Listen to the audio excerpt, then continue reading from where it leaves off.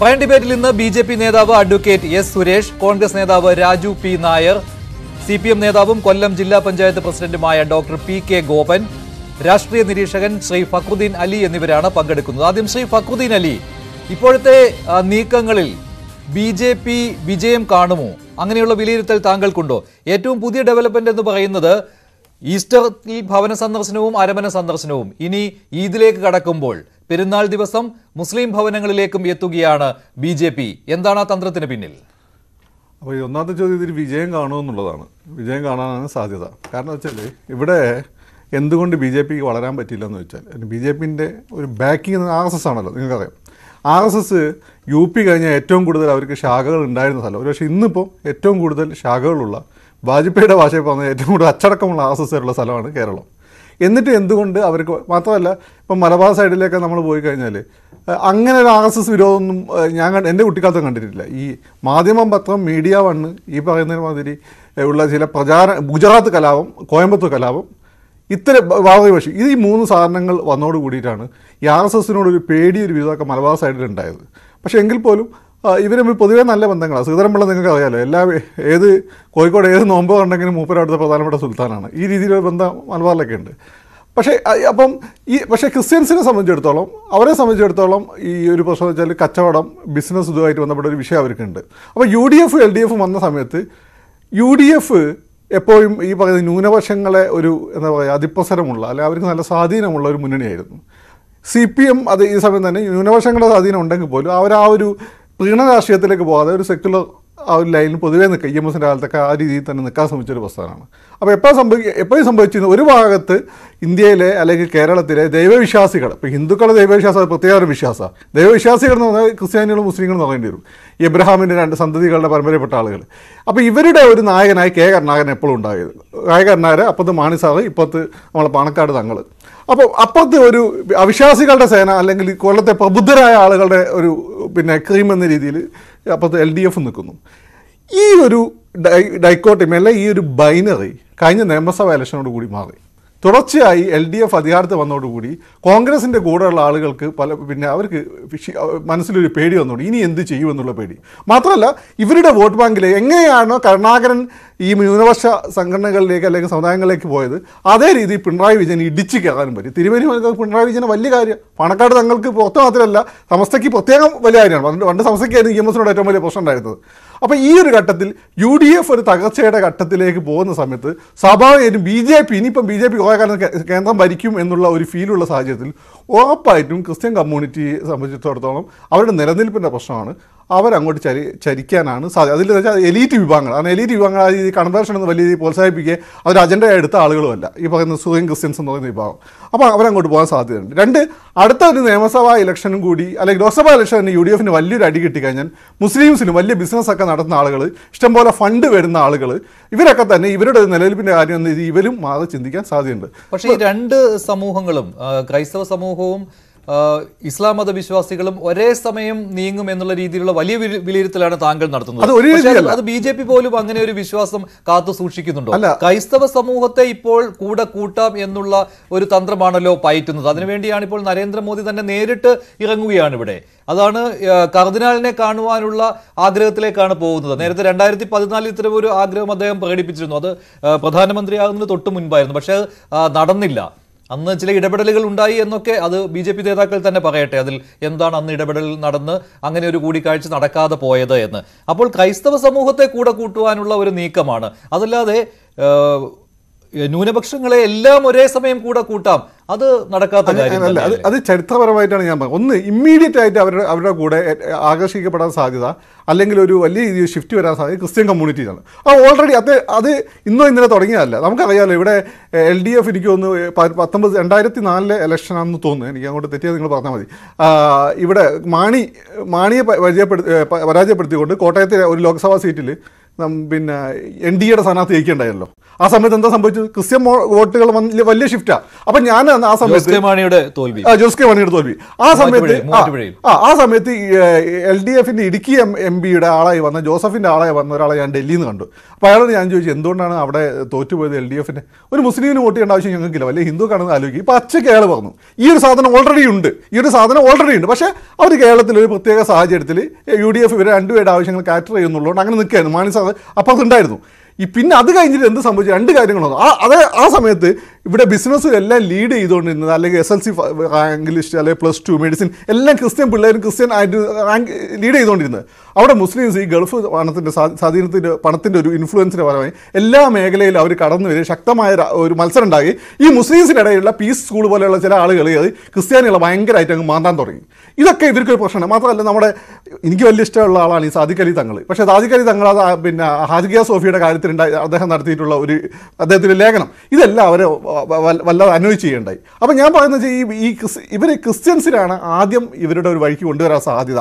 അത് കഴിഞ്ഞിട്ട് അടുത്ത തവണയും കൂടി മോഡി വരികയും ഇവിടെ യു ഡി എഫ് വരാൻ പറ്റാത്ത വരികയും ചെയ്യാത്ത സാഹചര്യത്തിൽ ഇവിടെയുള്ള മുസ്ലിംസിലെ നല്ലൊരു വിഭാഗം സമയത്ത് സി പി എമ്മിന്റെ കൂടെ നിൽക്കും. ലീഗും ഒരു സി പി എമ്മിന്റെ കൂടെ പോകാനാണ് സാധ്യത. പക്ഷേ അതിൽ ഒരു വിഭാഗം വിഭാഗം ഒരു ക്രീം ആയിട്ടുള്ള എലീറ്റ് ആയിട്ടുള്ള ഒരു വിഭാഗം അവർക്ക് ഈ പറയുന്ന വിദേശ കറൻസിയായിട്ട് ബന്ധപ്പെട്ട വിഷയങ്ങളുണ്ട് അവർക്ക് ബിസിനസ് ഉണ്ട് ഇത്തരം കാര്യങ്ങളുണ്ട്. അവർ ഈ അബ്ദുള്ള കുട്ടീന്റെ ഒക്കെ കൂടെ കൂടിയിട്ട് അബ്ദുള്ള കുട്ടി പള്ളിയിലൊക്കെ പോകുന്ന നല്ല മുസ്ലിമാണല്ലോ. പതുക്കെ അതിലൊരു വിഭാഗം പതുക്കെ ബി ജെ പിയിലേക്ക് പോകാൻ സാധ്യതയുണ്ട്. ശരി അഡ്വക്കേറ്റ് എസ് സുരേഷ് ഇതുവരെയുള്ള വിലയിരുത്തൽ എങ്ങനെയാണ്? കോർ ഗ്രൂപ്പ് യോഗം ചേർന്നുവല്ലോ. അപ്പോൾ കേരളത്തിലെ ഒരു കോർ വിഭാഗത്തെ തന്നെ കൂടെ നിർത്താം എന്നുള്ള വിലയിരുത്തലാണല്ലോ. നിലവിൽ എന്തെല്ലാം കാര്യങ്ങൾ നിങ്ങൾക്ക് അനുകൂലമായി വരുന്നുണ്ടെന്നാണ് വിലയിരുത്തൽ?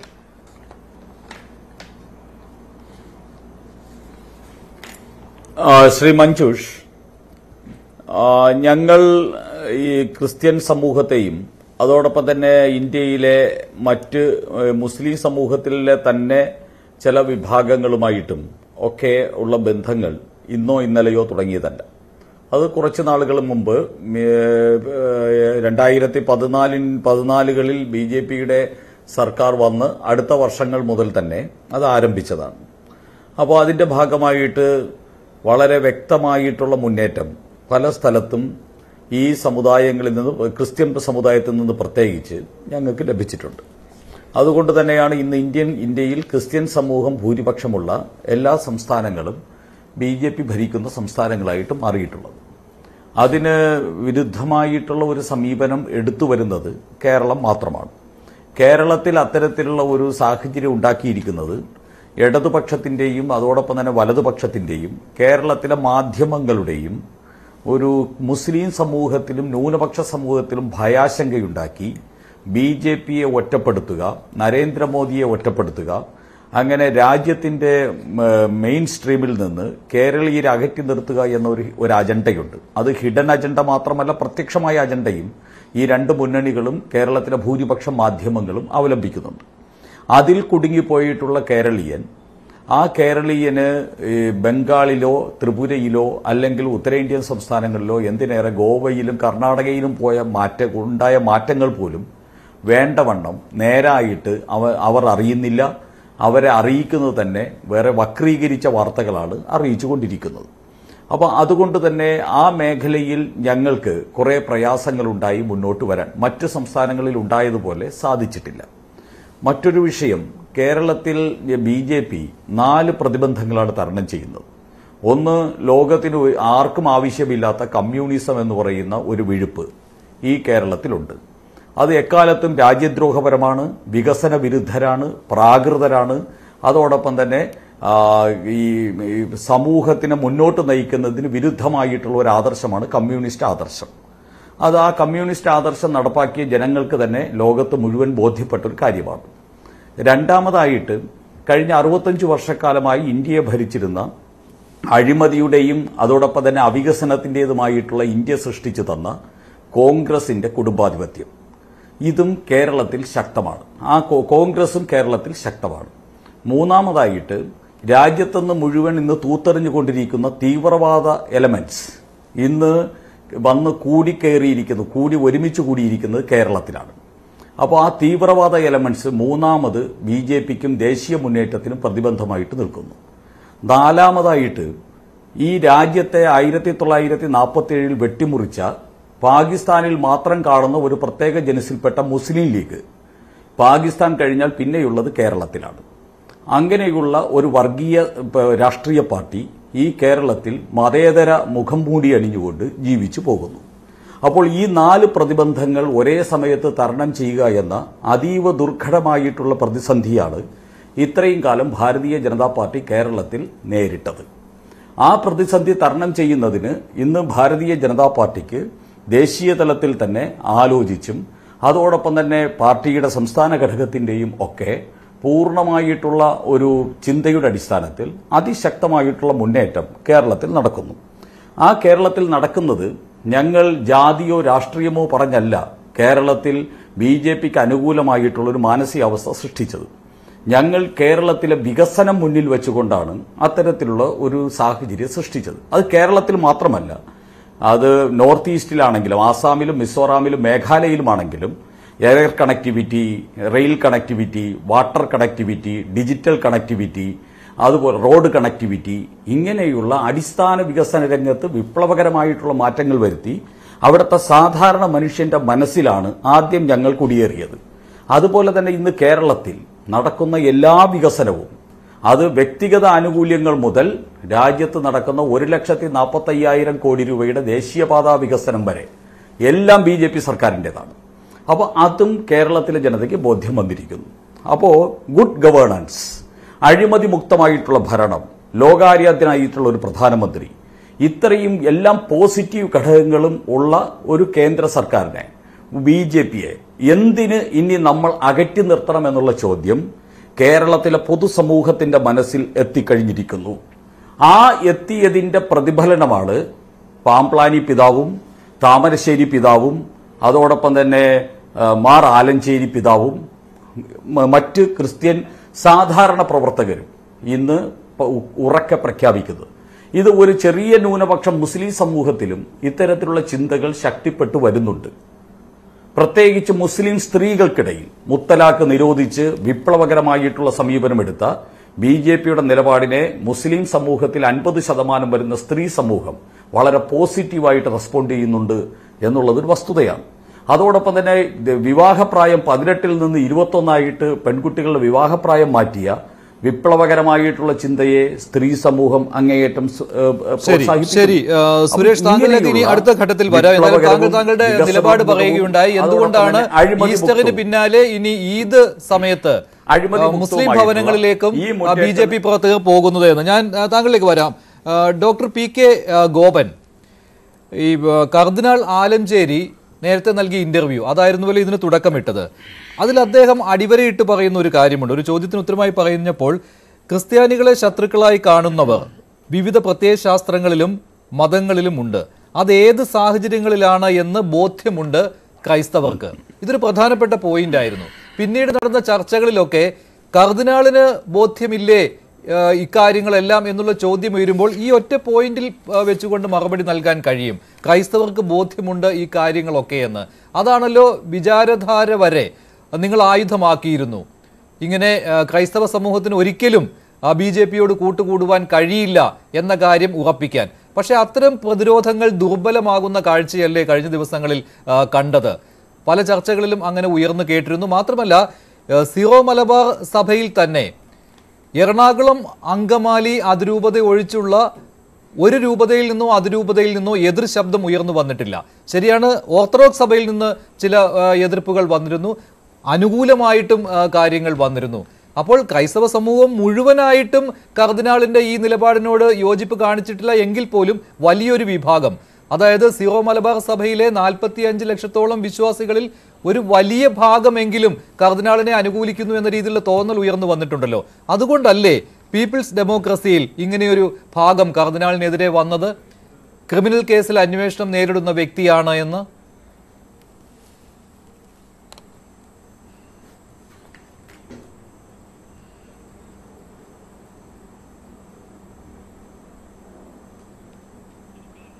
ഡോക്ടർ പി കെ ഗോപൻ കേട്ടില്ലേ? സൗണ്ട് പോയി. കേൾക്കുന്നില്ലേ താങ്കൾക്ക്? അങ്ങ് അവസാനം പറഞ്ഞു ഒന്നുകൂടെ ഞാൻ അവസാനം സൗണ്ട് പറഞ്ഞത് എന്താണെന്ന് വെച്ചാൽ ഇപ്പോൾ ഏറ്റവും അവസാനം പീപ്പിൾസ് ഡെമോക്രസിയിൽ ഒരു ലേഖനം വന്നിട്ടുണ്ട് കർദിനാളിനെതിരെ. കാരണം ബി ജെ പിക്ക് അനുകൂലമായ പ്രസ്താവന നടത്തിയതിനെതിരെ. അത് ഈ ക്രിമിനൽ കേസിൽ അന്വേഷണം നേരിടുന്ന വ്യക്തിയാണ് എന്നുള്ള ഒരു പരാമർശമാണ്.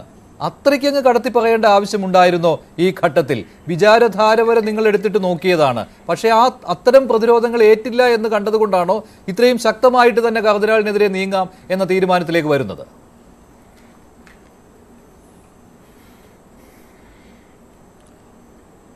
അല്ല അതിനെ അങ്ങനെയല്ല വ്യാഖ്യാനിക്കേണ്ടത്. നമുക്ക് ഏതെങ്കിലും ഒരു പ്രത്യേക പ്രശ്നത്തെ എടുത്തുകൊണ്ട് ഇത് വ്യാഖ്യാനിക്കാൻ കഴിയില്ല. ഇത് ബി ജെ പിയും സംഘപരിവാർ സംഘടനകളും ഇന്ത്യയിൽ എല്ലാ സ്റ്റേറ്റിലും അവരുടേതായ ചില സമീപനങ്ങളിലൂടെ അടവുകളിലൂടെ ഒന്നുകിൽ എം എൽ എമാരെ പണം കൊടുത്ത് വിലയ്ക്ക് വാങ്ങിക്കുക അതല്ലെങ്കിൽ ഭീഷണിപ്പെടുത്തി കൂടെ നിർത്തുക. ഇങ്ങനെ ഒരുപാട് അടവുകൾ അവർ പല സ്റ്റേറ്റുകളിലും പയറ്റി നോക്കിയിട്ടാണ് ഗവൺമെന്റ് ഉണ്ടാക്കിയത് ബി ജെ പി വളർത്തിയത്. ഇപ്പോൾ മറ്റു പല രാഷ്ട്രീയ പാർട്ടികളിൽ നിന്നും വൻതോതിൽ എം എൽ എമാരെ വിലയ്ക്ക് വാങ്ങിച്ചു. ചില സ്ഥലത്ത് ചില സ്റ്റേറ്റുകളിൽ പൂർണമായും എം എൽ എമാരെ അധികാരത്തിൽ വരാൻ കഴിയുന്ന കക്ഷികളിൽ നിന്ന് തന്നെ എം എൽ എമാരെ പൂർണമായിട്ട് വിലയ്ക്ക് വാങ്ങിച്ചു. ഗവർണർമാരെ ഉപയോഗിച്ച് സ്റ്റേറ്റുകളെ ഭീഷണിപ്പെടുത്തുകയും ഇടപെടുകയും ചെയ്തു. വടക്ക് കിഴക്കൻ ഇന്ത്യയിൽ ക്രൈസ്തവ വോട്ട് സമാഹരിക്കുന്നത് ഭീഷണിപ്പെടുത്തിയിട്ടാണ്. കേരളത്തിലെ പോലെ സമ്പന്നരായ ഒരു ക്രൈസ്തവ സമൂഹം ഇന്ത്യയിൽ മറ്റൊരു സ്റ്റേറ്റിലും ഇല്ല. വളരെ ദുർബലരാണ്. അവിടുത്തെ പള്ളികൾ വളരെ ശോഷിച്ച പള്ളികളാണ്. സമ്പത്ത് വളരെ കുറവാണ്. സഭയുടെ സ്വാധീനം വളരെ പരിമിതമാണ്. ഇങ്ങനെയൊക്കെ ഉള്ള സ്ഥലത്ത് വളരെ പാവപ്പെട്ടവർ ക്രിസ്ത്യാനികളായി തുടരുന്ന ചില സ്ഥലങ്ങളുണ്ട്. അവിടെയൊക്കെ അവരെ ഭീഷണിപ്പെടുത്തിയിട്ടാണ് അവരുടെ വോട്ട് സമാഹരിച്ച് ചില ഗവൺമെന്റുകളൊക്കെ ഉണ്ടാക്കിയിട്ടുള്ളത്.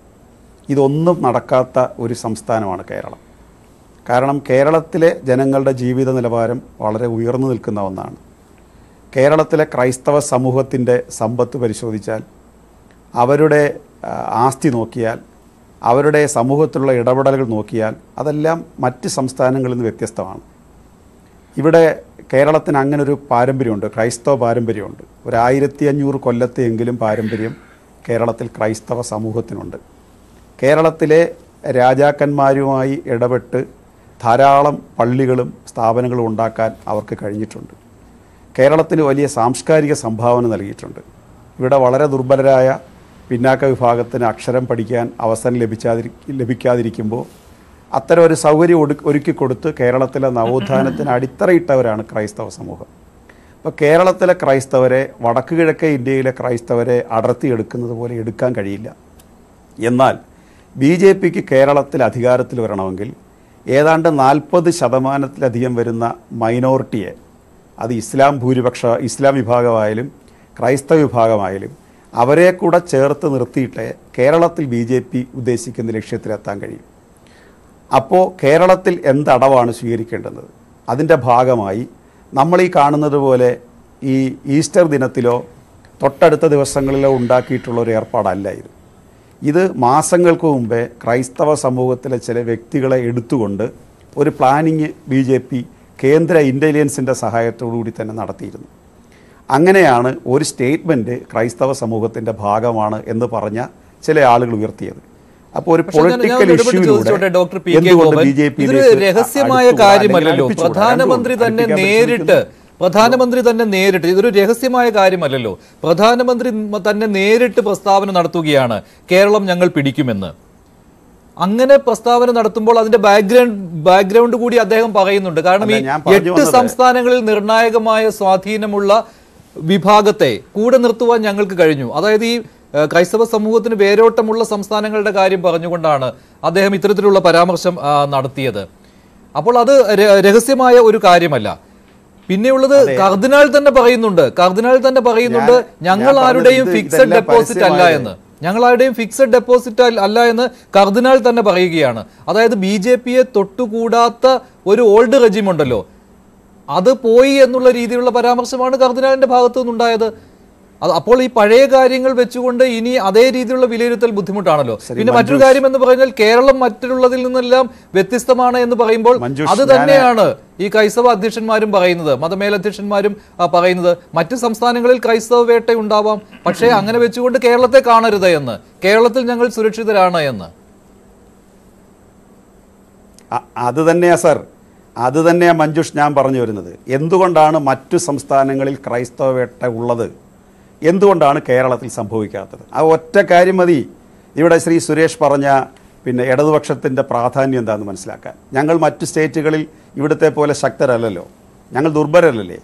ഒറീസയിൽ സി പി ഐ എമ്മിന്റെ സംസ്ഥാന കമ്മിറ്റി ഓഫീസിലാണ് സർ ഞായറാഴ്ച കുർബാന നടക്കുന്നത്. ഇപ്പോഴും സി പി ഐ എമ്മിന്റെ സംസ്ഥാന കമ്മിറ്റി ഓഫീസ് തുറന്നു കൊടുത്തില്ലെങ്കിൽ ഒഡീഷയിൽ ഒരു വിഭാഗം ക്രൈസ്തവർക്ക് ഞായറാഴ്ച കുർബാന നടത്താൻ കഴിയില്ല. ഇപ്പം ഞാൻ പറഞ്ഞു വന്നത് ഇപ്പോൾ നടത്തിയ പരസ്യമായ പ്രകടനം നടക്കുന്നതിന് മുമ്പ് വളരെ അഡ്വാൻസ്ഡ് ആയിട്ട് ഒരു പ്ലാനിങ് ഉണ്ടായിരുന്നു. ആ പ്ലാനിങ്ങിന്റെ ഭാഗമായിട്ടാണ് പൊളിറ്റിക്കൽ ഇഷ്യൂയിലൂടെ കൊണ്ടുവരാൻ വേണ്ടിയിട്ടാണ് റബ്ബറിന്റെ പ്രശ്നം എടുത്തിട്ടത്.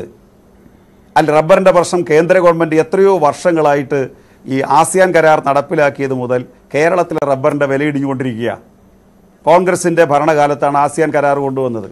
ബി ജെ പി അന്ന് അതിനെ എതിർത്തവരാണ്. പിന്നീട് ബി ജെ പി അധികാരത്തിൽ വന്നപ്പോൾ ആസിയാൻ കരാർ ശക്തമായി മുന്നോട്ട് കൊണ്ടുപോവുകയാണ്. ഇപ്പോൾ കരാറിൽ നിന്ന് പിന്മാറാൻ പറ്റില്ല എന്ന് പറയുന്നു. അപ്പോൾ ഇറക്കുമതി റബ്ബറിന്റെ ഭാഗമായി കേരളത്തിലെ റബ്ബറിന്റെ വില ഇടിഞ്ഞു. ആ ഇഷ്യൂയിൽ റബ്ബറിന് വില തരാമെന്നുണ്ടെങ്കിൽ ഞങ്ങൾ നിങ്ങളുടെ കൂടെ നിൽക്കാം എന്നൊരു സ്റ്റേറ്റ്മെന്റ് വരുന്നു. ആ സ്റ്റേറ്റ്മെന്റ് കേരളത്തിൽ നടപ്പിലാക്കിയാൽ ബി ജെ പി ഉദ്ദേശിക്കുന്ന ഗ്ലോബലൈസേഷനോ അല്ലെങ്കിൽ ഉദാരവൽക്കരണമോ എന്ന് പറയുന്ന ഇന്ത്യയിലെ പൊതു തിയറിക്ക് അവർക്ക് മങ്ങലേക്കും. അത് ഇന്ത്യൻ കോർപ്പറേറ്റുകൾക്ക് സ്വീകാര്യമല്ല. കാരണം ഇന്ത്യൻ കോർപ്പറേറ്റുകൾ വിറ്റഴിക്കുന്ന റബ്ബറിന്റെ വില അവർക്ക് വില കുറച്ച് റബ്ബർ കിട്ടണം അവർക്ക് വില കൂട്ടി വിൽക്കണം. കോർപ്പറേറ്റുകൾക്ക് വിരുദ്ധമായ ഒരു നിലപാട് ബി എടുക്കില്ല. അപ്പോൾ അതിന് പകരമായി മറ്റ് സംവിധാനങ്ങൾ ആലോചിക്കുന്നു. അപ്പോൾ കേരളത്തിൽ മറ്റു സ്റ്റേറ്റുകളിൽ നിന്ന് വ്യത്യസ്തമായി കേരളത്തിൽ വർഗീയ സംഘർഷം ഉണ്ടാകുന്നില്ല എന്നുള്ളതാണ് കേരളത്തിന്റെ പ്രത്യേകത. മറ്റൊരിടത്തെല്ലാം ആക്രമിക്കുന്നു. ഇവർ തന്നെ പറയുന്നു മറ്റ് സ്റ്റേറ്റുകളിൽ അത് സംഭവിക്കുന്നു. ആരാ മറ്റ് സ്റ്റേറ്റുകളിൽ ക്രൈസ്തവരെ ആക്രമിക്കുന്നത് എത്ര ഇപ്പോൾ എൺപത്തോ എൺപതോ തൊണ്ണൂറോ ക്രൈസ്തവ സംഘടനകൾ ഡൽഹി ചേർന്നുകൊണ്ട് ഇന്ത്യയിലെ ഇരുപത്തൊന്ന് സ്റ്റേറ്റുകളിൽ ക്രൈസ്തവർ അരക്ഷിതരാണ് എന്ന് പ്രഖ്യാപിച്ചു കഴിഞ്ഞു. ആ ഇരുപത്തൊന്ന് സ്റ്റേറ്റിൽ മഹാഭൂരിപക്ഷം ഭരിക്കുന്നത് ബി ജെ പി ആണ് കേന്ദ്രം ഭരിക്കുന്നത് ബി ജെ പി ആണ് എന്തുകൊണ്ട് ക്രൈസ്തവ രക്ഷയ്ക്ക് വേണ്ടി അവിടങ്ങളിൽ ബി ജെ പിക്ക് ഒരു നിലപാടെടുക്കാൻ പറ്റുന്നില്ല അങ്ങനെയാണെങ്കിൽ? അവർക്കതിൽ പങ്കില്ലെങ്കിൽ. പങ്കുണ്ടെന്നുള്ളത് നാൽപ്പത് അമ്പത് സംഘപരിവാർ സംഘടനകളുണ്ട്. ഏതെങ്കിലും ഒരു സംഘടന മേൽ ചാരിയിട്ട് ബി ജെ പി പറയും ഞങ്ങളല്ല അത് ചെയ്തതെന്ന് പറയും. അങ്ങനെയാണല്ലോ അവർ സ്ഥിരം ചെയ്തുകൊണ്ടിരിക്കുന്നത്. അതിനാണ് അവർക്ക് പത്ത് നാൽപ്പത് സംഘടനകളുള്ളത്. ആ സംഘടനകളിൽ ഏതെങ്കിലും ഒരു സംഘടനയായിരിക്കും ഇത് ചെയ്യുന്നത്. അതിൽ ബി ജെ പിയുടെ എം പിമാരായിരിക്കും നേതൃത്വം കൊടുക്കുന്നത്. അല്ലെങ്കിൽ എം എൽ എമാരായിരിക്കും നേതൃത്വം കൊടുക്കുന്നത്. അതിനൊന്നും ഫലപ്രദമായ ഒരു കേസ് പോലുമില്ല നമ്മൾ ഗുജറാത്ത് പരീക്ഷണമാണല്ലോ ബഹുമാന്യനായ നരേന്ദ്രമോദിയെ ഇന്ത്യൻ പ്രധാനമന്ത്രി പദത്തിലെത്തിച്ചത് എത്രയോ ബി നേതാക്കന്മാർ സെക്കൻഡ് റൗണ്ടായിട്ട് അടൽ ബിഹാരി വാജ്പേയിക്കും എൽ കെ അദ്വാനിക്ക് ശേഷം വരേണ്ടവരെല്ലാം ഒഴിവാക്കപ്പെട്ടിട്ട് ഗുജറാത്ത് പരീക്ഷണം നടത്തി വിജയിച്ച ആളെന്ന നിലയിലാണല്ലോ അഭിവന്ദ്യനായ നമ്മുടെ പ്രധാനമന്ത്രി ഇപ്പോഴത്തെ പ്രധാനമന്ത്രി ബി ജെ പിയുടെ പ്രധാനമന്ത്രി സ്ഥാനാർത്ഥിയായിട്ട് അവരോധിക്കപ്പെടുന്നത്. ആ പരീക്ഷണം നടത്തി വിജയിച്ച ആളിനെയാണ് ആർ എസ് എസിന് സ്വീകാര്യം. ആർ എസ് എസിന്റെ അടിസ്ഥാന സിദ്ധാന്തം രണ്ടായിരത്തി ഇരുപത്തഞ്ചിൽ ഹിന്ദുരാഷ്ട്രം പ്രഖ്യാപിക്കണമെങ്കിൽ ഇന്ത്യയിലെ എല്ലാ സ്റ്റേറ്റിലും ബി ജെ പിക്ക് അധികാരം വേണം. അതിലൂടെ അതാണ് അവർ ലക്ഷ്യമിടുന്നത്. അതിന് ഇവിടെ എന്താ തടസ്സം? ഇവിടെ മുസ്ലിം സംഘടനകൾ തടസ്സമാണ് ക്രിസ്ത്യൻ സംഘടനകൾ തടസ്സമാണ് കമ്മ്യൂണിസ്റ്റുകാർ തടസ്സമാണ്. ഇപ്പോൾ ബഹുമാനായ നമ്മുടെ സഹപാനലിസ്റ്റ് ശ്രീ സുരേഷ് ഇവിടെ വിചാരധാരയിലെ മൂന്ന് കാര്യങ്ങൾ മാറ്റിവെച്ചിട്ട് ഇവിടെ നാല് കാര്യങ്ങൾ അവതരിപ്പിച്ചു. ഒന്ന് മുസ്ലിം ലീഗ് രണ്ട് കോൺഗ്രസ് മൂന്ന് സി പി എം ഇങ്ങനെയുള്ള മൂന്ന് നാല് ശത്രുക്കളാണ് കേരളത്തിലുള്ളത്. ഒന്ന് തീവ്രവാദ സംഘടനകൾ. അപ്പോൾ C P M Muslim League Congress തീവ്രവാദ സംഘടനകൾ. ഇതാണ് കേരളത്തിന്റെ ഇപ്പോഴത്തെ ശത്രുവായിട്ട് അദ്ദേഹം പ്രഖ്യാപിച്ചിട്ടുള്ളത്. അതിനകത്ത് ക്രൈസ്തവരെ തൽക്കാലം ഒഴിവാക്കി നിർത്തി. കാരണം ഇപ്പോഴത്തെ ഡീൽ നടത്താൻ വേണ്ടി ക്രൈസ്തവർ എന്ന് പ്രയോഗിക്കുന്നില്ല. വിചാരധാര മാറ്റി എഴുതാൻ അദ്ദേഹത്തെ ബി ജെ പി അനുവദിച്ചിട്ടുണ്ടോ? അല്ല അക്കാര്യം അക്കാര്യം ബി ജെ പി നേതാക്കളും വ്യക്തമാക്കിയിട്ടുള്ളതാണല്ലോ അത് മാത്രമല്ല ക്രൈസ്തവ നേതാക്കളും ക്രൈസ്തവ നേതാക്കളും ഇത് തന്നെ പറയുന്നുണ്ട്. കാരണം അതാത് സാഹചര്യത്തിൽ എഴുതപ്പെട്ടിട്ടുള്ളതാണ്. അത് എല്ലാ സാഹചര്യത്തിലും അനുയോജ്യമായിരിക്കുകയില്ല. മാറുന്ന സാഹചര്യം അനുസരിച്ച് അതിലും മാറ്റം വരും. അത് ബി ജെ പി നേതാക്കൾ തന്നെ തുറന്ന് സമ്മതിക്കുന്ന കാര്യമാണ്. ഞാൻ താങ്കളിലേക്ക് വരാം. ശ്രീ രാജു പി നായർ കേരളത്തിൽ ഒരു അനിശ്ചിതാവസ്ഥയുണ്ട്. ശരി, ഞാൻ- താങ്കളിലേക്ക് വരാം. ശരി ശരി. ശരിയാണ്. ഞാൻ താങ്കളിലേക്ക് വരാം. ശ്രീ നായർ കേരളത്തിലും ഒരു രാഷ്ട്രീയമായ അനിശ്ചിതാവസ്ഥയുണ്ട്. അതാണല്ലോ കർദിനാളിന്റെ വാക്കുകളിലും അന്നുണ്ടായിരുന്നത്. അതുകൊണ്ട് തന്നെ ക്രൈസ്തവ സമൂഹത്തിൽ നിന്ന് അധികം ഒച്ചപ്പാടുകൾ കർദിനാളിന് എതിരെ ഉണ്ടാകുന്നുമില്ല. ഇപ്പോൾ ഏറ്റവും അവസാനം പീപ്പിൾസ് ഡെമോക്രസിയിലൂടെ മറുപടി നൽകിയിരിക്കുന്നത് സി പി എം ആണ്. ഈ അനിശ്ചിതത്വം എന്ന് പറയുന്നത് ഈ തുടർച്ചയായിട്ട് ഭരണത്തിൽ എൽ ഡി എഫ് വരുന്നുണ്ട്. കോൺഗ്രസ് ഒട്ട് ഭരണത്തിലേക്ക് വരുന്നുമില്ല. അപ്പോൾ കോൺഗ്രസിന്റെ ഈ അനിശ്ചിതാവസ്ഥ അത് ക്രൈസ്തവ സമൂഹത്തിനും ആശങ്കയുണ്ടാക്കുന്ന കാര്യമാണ്. പിന്നെ ഈ ന്യൂനപക്ഷ ആനുകൂല്യ വിതരണ കാര്യത്തിലൊക്കെ ഞങ്ങൾ പിന്തള്ളപ്പെടുന്നു എന്നുള്ള ഒന്ന് അത് ക്രൈസ്തവ സമൂഹത്തിനുള്ളതാണല്ലോ. എൽ ഡി എഫ് സർക്കാരിന്റെ കാലത്ത് തുടർച്ചയായിട്ട് ഈ ഒരു വിമർശനം ക്രൈസ്തവ സമൂഹം ഉന്നയിക്കുന്നതാണ്. ഞങ്ങൾ പിന്തള്ളപ്പെട്ടു പോകുന്നു. ന്യൂനപക്ഷങ്ങളിൽ ഞങ്ങൾ പിന്നോട്ട് പോകുന്നു എന്നുള്ളത്. അപ്പോൾ ഇത് രണ്ടും ഒരു ആശങ്കയുടെ രൂപത്തിൽ വരുമ്പോൾ മൂന്നാമത്തെ ആളിനെ കേന്ദ്രം ഭരിക്കുന്ന പാർട്ടിയെ അവർ വിശ്വസിക്കുന്നു. അതാണ് ക്രൈസ്തവ സമൂഹത്തിൽ നിന്ന് ഇങ്ങനെ ഒരു കാര്യം ഉയർന്നു വരുവാനുള്ള കാരണമായിരിക്കുന്നത്.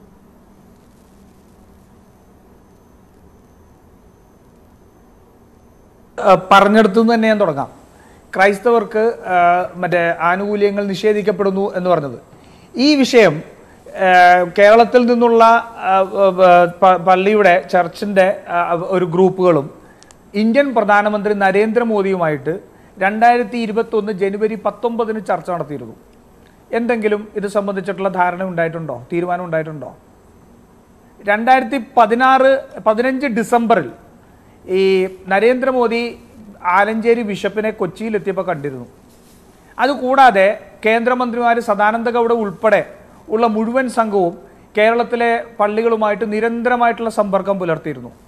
ഞാനിവിടെ ഫക്രുദ്ദീൻ അലിയും അദ്ദേഹം ഇപ്പൊ പുതിയ ഒരു ഈ വിഷയത്തിൽ ഞാൻ ഈ ചോദിച്ച ഈ വിഷയത്തിൽ ആ വിഷയത്തിൽ കേന്ദ്രത്തിൽ നിന്നുള്ള ഉറപ്പ് കാരണമായിരിക്കുമല്ലോ സ്വാഭാവികമായിട്ടും ബി ജെ പിക്ക് അനുകൂലമായിട്ടുള്ള പ്രസ്താവന വരുന്നത്. ഞാൻ പറഞ്ഞത് കോൺഗ്രസിന്റെ ഈ അനിശ്ചിതാവസ്ഥ അതിൽ ആശങ്കാകുലരാകുന്നു സഭ ക്രൈസ്തവ സമൂഹം.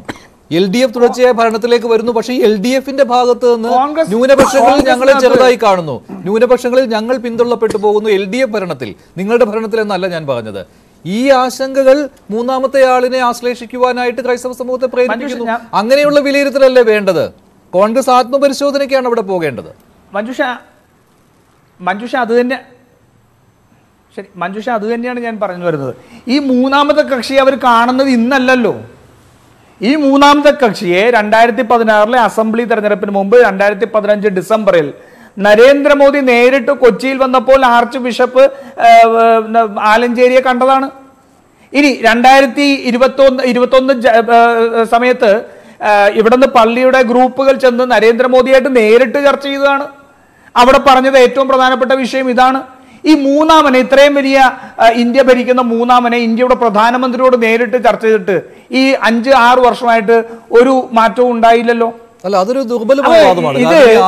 ഞാൻ പറഞ്ഞില്ല ഇതൊക്കെ പഴയ അവർക്ക് പുതിയ ബോധ്യമായി. കുപ്പിയിലിട്ടുകൊണ്ട് വരികയാണ്. അല്ല അല്ല, അവർ കാത്തിരിക്കുകയായിരുന്നു സംസ്ഥാന ഭരണത്തിലും അവർക്ക് വിശ്വാസം ഉണ്ടായിരുന്നു അവർക്ക് അല്ല, ഞാൻ പറഞ്ഞു ഞാൻ- സാഹചര്യങ്ങൾ മാറില്ല എന്ന്. സ്വാഭാവികമാണല്ലോ. മഞ്ജുഷ ഏറ്റവും മഞ്ജുഷ ഏറ്റവും പ്രധാനപ്പെട്ട വിഷയം സംസാരിക്കുമ്പോൾ ഞാൻ പറയാനുള്ള ഒരു അവസരം തരും. അത് കഴിഞ്ഞിട്ട് ഉപചോദ്യം ചോദിച്ചാൽ ഞാൻ മറുപടി പറയാം. എനിക്ക് ഇത് കരയി പറയുമ്പോൾ ഈ ബിഷപ്പുമാർ ഉൾപ്പെടെ നേരത്തെ നടത്തിയിട്ടുള്ള ചർച്ചകളുടെ ഒരു പിന്നാമ്പുറം കൂടി പറഞ്ഞേ മുന്നോട്ട് പോകാൻ കഴിയുള്ളൂ. നിങ്ങളിപ്പോൾ പറഞ്ഞത് ഈ പറയുന്ന ആനുകൂല്യങ്ങൾ ഉൾപ്പെടെയുള്ള വിഷയങ്ങളല്ലേ? ആ ആനുകൂല്യം ഉൾപ്പെടെയുള്ള വിഷയങ്ങളിൽ ഇന്ത്യയുടെ പ്രധാനമന്ത്രിയോട് ചർച്ച നടത്തിയിട്ട് എന്തു മാറ്റം ഉണ്ടാക്കാൻ സാധിച്ചു? ഒരു മാറ്റം ഉണ്ടാക്കാൻ സാധിച്ചില്ലല്ലോ.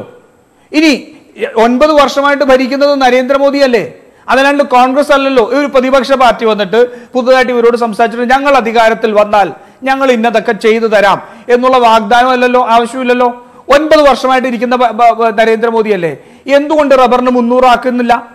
ഇപ്പോഴേ ഞങ്ങൾ റബ്ബറിന് മുന്നൂറാക്കിയിട്ട് പറയും ഞങ്ങൾ ഇതാക്കി ഇനി ഞങ്ങളെ പിന്തുണയ്ക്കണം എന്ന് പറയാമല്ലോ? അല്ലെങ്കിൽ ഈ പറയുന്ന ക്രിസ്ത്യൻ വിഭാഗങ്ങൾക്ക് കിട്ടുന്ന ആനുകൂല്യങ്ങളെ സംബന്ധിച്ചുള്ള പ്രശ്നം പരിഹരിച്ചിട്ട് ഇനി ഞങ്ങൾക്ക് വോട്ട് ചെയ്യണമെന്ന് പറയാലോ? അപ്പോ ഈ പറയുന്ന ഇല കാണിച്ചുകൊണ്ട് ചില ആടുകളെ മാറ്റാൻ പറ്റുമോ എന്നുള്ളതാണ് നോക്കുന്നത്. ഈ ആടിൽ ഈ ഇലയിൽ കടിക്കുന്ന ആടുകളുണ്ട്. ഇലയിൽ കടിക്കുന്ന ആടുകൾക്ക് ചില പ്രത്യേക താല്പര്യങ്ങളുള്ളവരാണ്. അത് ചിലപ്പോൾ ഇ ഡി ആയിരിക്കാം അങ്ങനെ പല കാര്യങ്ങളുണ്ടാവാം. പക്ഷേ ഈ രണ്ടായിരത്തി പതിനാറിൽ ഈ കേരളത്തിലുള്ള മുഴുവൻ അരമനകളും ഈ പറയുന്ന സദാനന്ദ ഗൗഡ ഉൾപ്പെടെയുള്ള നേതാക്കന്മാർ കയറിയിറങ്ങിയിട്ടും നരേന്ദ്രമോദി നേരിട്ട് ചർച്ചകൾ നടത്തിയിട്ടും കേരളത്തിലെ ക്രൈസ്തവ സമൂഹം മാറിയില്ല എന്ന് മാത്രമല്ല രണ്ടായിരത്തി ഇരുപത്തൊന്നിലും രണ്ടായിരത്തി പത്തൊമ്പതിലും ഈ ബി ജെ പിയുടെ വോട്ട് ഷെയർ താഴത്തേക്ക് പോകുന്നതാണ് ഞാൻ നമ്മൾ കണ്ടത്. ഇല്ലേ? അവിടെ വന്നിട്ട് കാത്തിരിക്കുന്നതിൽ അതിൽ അർത്ഥമുണ്ടോ എന്ന് തോന്നുന്നില്ല. കാരണം അതൊരു മൗഢ്യമായ ഒരു കാര്യമായിരിക്കും. ഇനിയും അത് ആവർത്തിക്കുകയൊന്നുമില്ല. ഞങ്ങൾ കയ്യും കെട്ടി നോക്കിയിരുന്നാൽ അല്ല ഞാൻ പറയുന്നത് ഞാൻ പറയുന്നത് ഞാൻ മഞ്ജുഷ ഞാൻ പറയുന്നത് ഈ പറയുന്ന കാര്യങ്ങളെല്ലാം ക്രിസ്ത്യൻ സമൂഹത്തോട് ഇവർ ഇവർ ചരിത്രപരമായിട്ട് എടുക്കുന്ന നിലപാടുകളെ പോലെ തന്നെ ഈ പറയുന്ന ആനുകൂല്യങ്ങളും സമ്പ- സാമ്പത്തിക കാര്യങ്ങളെ സംബന്ധിച്ചുള്ളതും ഇരട്ടത്താപ്പാണെന്ന് കേരളത്തിലെ ക്രൈസ്തവ സഹോദരന്മാർക്ക് വളരെ വ്യക്തമായിട്ട് അറിയാം ഞാൻ ചോദിക്കട്ടെ ആലഞ്ചേരി ബിഷപ്പിന്റെ പ്രസ്താവന വന്നതിന്റെ അന്ന് വൈകുന്നേരം സഭ തള്ളി പറഞ്ഞില്ലേ ഇത് സഭയുടെ നിലപാടല്ലാന്ന്? ഇപ്പൊ ഇന്നലെ ദീപിക പത്രത്തിൽ ഇന്ന് ഫാദർ പോൾ തേലേക്കാട് വളരെ വിശദമായിട്ടുള്ള ലേഖനം എഴുതിയേക്കല്ലേ? ഈ ക്രിസ്തീയ സമൂഹത്തിന് ആർ എസ് എസും അവരുടെ സംഘപരിവാറിന്റെയും സംഘടനകളും ചുറ്റുവട്ടത്ത് നിൽക്കുന്ന സംഘടനകളിൽ നിന്ന് എന്ത് നീതി ലഭിച്ചിട്ടുണ്ട്? ഇവിടെ പ്രശ്നം എന്താ? നീതിയാണ് പ്രശ്നം. അങ്ങനെ നീതി ലഭ്യമാക്കുക എന്നാണ് ബി ജെ പിയുടെ ലക്ഷ്യമെങ്കിൽ അവർ നരേന്ദ്രമോദി പോകേണ്ടത് ഈസ്റ്റർ ദിനത്തിൽ പള്ളിയിലേക്കായിരുന്നില്ല. മറിച്ച് ജന്തർ മന്ത്രയിൽ എഴുപത്തഞ്ച് ക്രിസ്ത്യൻ സംഘടനകൾ ഈ സംഘടന ഈ ക്രിസ്ത്യാനികൾക്കെതിരെ നടക്കുന്ന അതിരൂക്ഷമായ ആക്രമണങ്ങൾ. Evangelist churches churches federation of churches Narendra Modi Narendra Modi അധികാരത്തിൽ വന്നതിനു ശേഷം ക്രിസ്തീയ സഭകൾക്കെതിരെയുള്ള ആക്രമണം ഇരട്ടിയിൽ കൂടുതലായിരിക്കുന്നു എന്നാണ്. അത് നമ്മുടെ കാര്യം ചോദിച്ചോട്ടെ? ഈ എട്ട് സംസ്ഥാനങ്ങളിലെ കാര്യമാണല്ലോ അതിൽ പറയുന്നത് ഹരിയാന ബീഹാർ ഛത്തീസ്ഗഡ് ജാർഖണ്ഡ് മധ്യപ്രദേശ് ഇങ്ങനെ എട്ട് സംസ്ഥാനങ്ങൾ. അതിൽ ഛത്തീസ്ഗഡിലാണ് ഏറ്റവും കൂടുതൽ ആക്രമണങ്ങൾ ഉണ്ടായിരിക്കുന്നത്. ക്രൈസ്തവ സമൂഹത്തിന് നേരെ. ഛത്തീസ്ഗഡ് ഭരിക്കുന്നത് ആരാണ്? ഹലോ? ഹലോ? ഹലോ? കേൾക്കില്ല കേൾക്കുന്നില്ലേ? ഹലോ? കേൾക്കുന്നില്ല. ശരി. രാജു താങ്കളിലേക്ക് വരാം.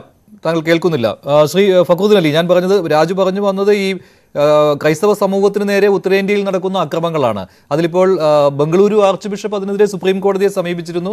അതിൽ ഇന്ന് കേന്ദ്ര സർക്കാരിന്റെതായ സത്യവാങ്മൂലവും വന്നിട്ടുണ്ട്. അതിൽ ഓരോ സംസ്ഥാനങ്ങളിലും നടന്ന ഈ അക്രമ സംഭവങ്ങളുടെ കാര്യം പറയുന്നുണ്ട്. അതിൽ ചിലത് പരസ്പരമുള്ള തർക്കങ്ങൾ മാത്രമാണ്. ചില കുടുംബ വഴക്കുകളുണ്ട്. അങ്ങനെയുള്ള കാര്യങ്ങളൊക്കെയാണ് സത്യവാങ്മൂലത്തിൽ പറയുന്നത്. അതെല്ലാം ക്രൈസ്തവ സമൂഹത്തിന് നേരെയുള്ള അക്രമങ്ങളായി ചിത്രീകരിച്ചിരിക്കുന്നു എന്ന രീതിയിലും പറയുന്നുണ്ട്. ഞാൻ രാജുവിനോട് ചോദിച്ചത് ഛത്തീസ്ഗഡിലാണ് ഏറ്റവും കൂടുതൽ ആക്രമണങ്ങൾ ഉണ്ടായത്. ഛത്തീസ്ഗഡ് ഭരിക്കുന്നത് കോൺഗ്രസ് ആണ് എന്ത് ചെയ്തു അവർ? ആ ഞാൻ അതിലേക്ക് വരാം. എന്റെ രാജു എന്തോ ഞാൻ എന്താ പുതിയ മേച്ചിൽ പോകുന്നത് ഇടുന്നു എന്നൊക്കെ പറയും രാജു ഞാൻ എനിക്ക് എന്റെതായ സ്റ്റാൻഡുണ്ട്. ഞാൻ ഫാക്ച്വൽ അനാലിസിസ് ആണ് എല്ലാ കാലവും നടത്തിയിരുന്നത്. നാല് വർഷം മുമ്പ് താങ്കൾ ബി ജെ പിയിലേക്ക് പോകുമെന്നുള്ള ചോദ്യങ്ങൾ വരുന്നുണ്ട് കേട്ടോ യൂട്യൂബിൽ. എനിക്ക് അല്ല എനിക്ക് ഞാൻ ഞാൻ രാഷ്ട്രീയം സീരിയസ് ആയിട്ട് എന്നാൽ കക്ഷി രാഷ്ട്രീയം സീരിയസ് ആയി എടുക്കുന്ന ആളല്ല. എനിക്ക് പഠിക്കുന്ന സമയത്ത് നല്ല സ്റ്റുഡന്റ് ആയിരുന്നു. ഇപ്പോൾ ഞാൻ നന്നായി എന്റെ ജോലിയാണ് ഇൻ ബിറ്റ്വീൻ സിവിൽ സർവീസ് കിട്ടാത്ത ഒരു സമയത്ത് ജോലി കിട്ടുന്ന ഇടയ്ക്കുള്ള സമയത്താണ് ഞാൻ മുമ്പ് എനിക്ക് ഉണ്ടായിരുന്ന രാഷ്ട്രീയം ഒന്ന് സജീവമാക്കി നിർത്തി ജോലി കിട്ടിയ ശേഷം ഞാൻ നിർത്തുകയും ചെയ്തു ആ രാഷ്ട്രീയം ഇപ്പോഴും എനിക്ക് സജീവമാണ് എന്റെ ഉള്ളിൽ. അല്ലാതെ ഈ പക്ഷേ ഞാൻ അന്നും നടത്തിയെന്ന് അന്ന് ഞാൻ ബി ജെ പി നല്ല കാര്യങ്ങൾ ഓക്കെ വന്നിട്ട് രാഹുൽ ഗാന്ധി ഭീകരമായി ഡിഫെൻഡ് ചെയ്തിട്ട് ബി ജെ പി ആക്രമിച്ച സമയത്ത് രാഹുൽ ഗാന്ധി ആക്രമിച്ച സമയത്ത് അതൊക്കെ. ഉമ്മൻചാണ്ടിയെ പറ്റി നല്ല പറഞ്ഞിട്ട് അതൊക്കെ കാണുന്ന പ്രേക്ഷകർക്ക് അറിയാം. നിങ്ങളെപ്പോലുള്ളവരെ അറിയില്ലായിരിക്കും. അപ്പം എന്നെ സംബന്ധിച്ചിടത്തോളം എന്റെ മുന്നിലുള്ള ഫാക്റ്റാണ് അപ്പം നിങ്ങൾ നാല് വർഷം മുമ്പ് പറഞ്ഞല്ലോ ഇപ്പം പറഞ്ഞു നാല് വർഷത്തിൽ ലോകം ഒരുപാട് മാറി. പുതിയ ഒരുപാട് ഫാക്റ്റുകൾ വന്നു. പുതിയ ഒരുപാട് രേഖകൾ വന്നു. ഞാൻ അതിനൊക്കെ ബേസ് ചെയ്തുകൊണ്ടാണ് പറയുന്നത്. അത് ആ രീതിയിൽ മനസ്സിലാക്കിയാൽ നിങ്ങൾക്ക് കൊള്ളാം. പോയിന്റിനെ പോയിന്റായിട്ട് പറയാം. ഈ വ്യക്തിപരമായിട്ട് അങ്ങനെയൊക്കെ പറയാൻ തുടങ്ങി ഞാനും പറഞ്ഞാൽ നിങ്ങൾ നിങ്ങൾ താങ്ങില്ല. കാരണം ഞാൻ നല്ല കോൺഗ്രസ് കുടുംബത്തിൽ വരുന്നത്. അതുകൊണ്ട് അത് വേണ്ട. വേണം നമുക്ക് നോക്കാം. ഇനി അതിലേക്ക് വരാം. ഇതാണ് ഇതിന്റെ ഒരു വലിയ പ്രശ്നം. ഇപ്പോൾ കേരളത്തിലൊരു കാര്യം എന്ന് വെച്ചാൽ കേരളത്തിൽ ബേസിക്കലി ഈ പറഞ്ഞ ഈ റബ്ബറിന്റെ വില നല്ല പ്രശ്നം. പ്രശ്നം നിങ്ങൾ അടുക്ക ജയശങ്കർ സാറിന്റെ ഒക്കെ ടോക്ക് നിങ്ങൾ ശ്രദ്ധിച്ചിട്ടുണ്ടാവുമല്ലോ. ഇപ്പോൾ എന്റെ ശ്രദ്ധിക്കുന്നില്ലെങ്കിൽ. അപ്പോൾ അതിൽ വളരെ കൃത്യമായിട്ട് എങ്ങനെയാണ് ഈ എബ്രഹാമിന്റെ മക്കൾ തമ്മിലുള്ള ഒരു പ്രശ്നമുണ്ട്. അതായത് മുസ്ലിങ്ങളും ക്രിസ്ത്യാനികളും തമ്മിലുള്ള ജൂതന്മാരും തമ്മിൽ ഇന്റർനാഷണലി ഒരു പ്രശ്നമുണ്ട്. ഇപ്പോൾ സൈക്കോളജിക്കലാണ് അത്. അത് പിന്നെ ദൈവശാസ്ത്രപരം കൂടിയാണ്. അതിന്റെ ഒരു ഒരു ഒരു അനുരണനം കേരളത്തിൽ ഇപ്പോൾ ഉണ്ട്. ഇടക്കാലത്ത് അവർ ഒരുമിച്ച് നിന്ന് മാണി സാറിന്റെ ഒക്കെ മരണത്തോടു കൂടി അവർക്ക് ലീഡർഷിപ്പ് ഇല്ലാതെ പോയി. മാണി സാറിനെ മുഖ്യമന്ത്രി ആകാൻ രമേശ് ചെന്നിത്തല സമ്മതിച്ചിട്ടില്ല. അല്ലെ കുഞ്ഞാപ്പയുടെ ഭരണം വരുന്നു. കുഞ്ഞാപ്പ അവിടുന്ന് നിയമസഭ ഇലക്ഷൻ ആകുമ്പോഴേക്ക് രാജിവെച്ച് ഇവിടെ വരുന്നു. ഇങ്ങനെ ഒരു ഫീലൊക്കെ വന്നിരുന്നു. ഇതിനെല്ലാം പുറത്താണ് കഴിഞ്ഞതിന്റെ മുമ്പുള്ള ഇലക്ഷനിൽ ഇവർ B J P B J P അല്ല കോൺഗ്രസ് നിന്ന് മാറിയിട്ട് ഒരു പങ്ക് ഇടതുപക്ഷത്തിന് ചെയ്യും കഴിഞ്ഞ ഇലക്ഷനെ വളരെ കൃത്യമായിട്ട് പ്രകടമായിട്ട് വരികയും ചെയ്തു പിന്നെ ജസ്ന എന്നൊരു കുട്ടിയെ കാണും. ആ കുട്ടി ആരെ തട്ടിക്കൊണ്ടുവന്ന് നമുക്കറിയില്ല. എന്ത് പറഞ്ഞാലും മുസ്ലിംസിന്റെ തലേന്ന് ചില ആളുകൾ അതും കൊണ്ട് ഒരു തെളിവില്ല എന്താ കേട്ടിട്ടുണ്ടോ? ഇല്ല. പക്ഷേ എന്താ സ്ഥാപിച്ചു വെച്ചിരിക്കുന്നത് മുസ്ലിംസ് ആട്ടിക്കൊണ്ട്? എന്താ ഉറപ്പ്?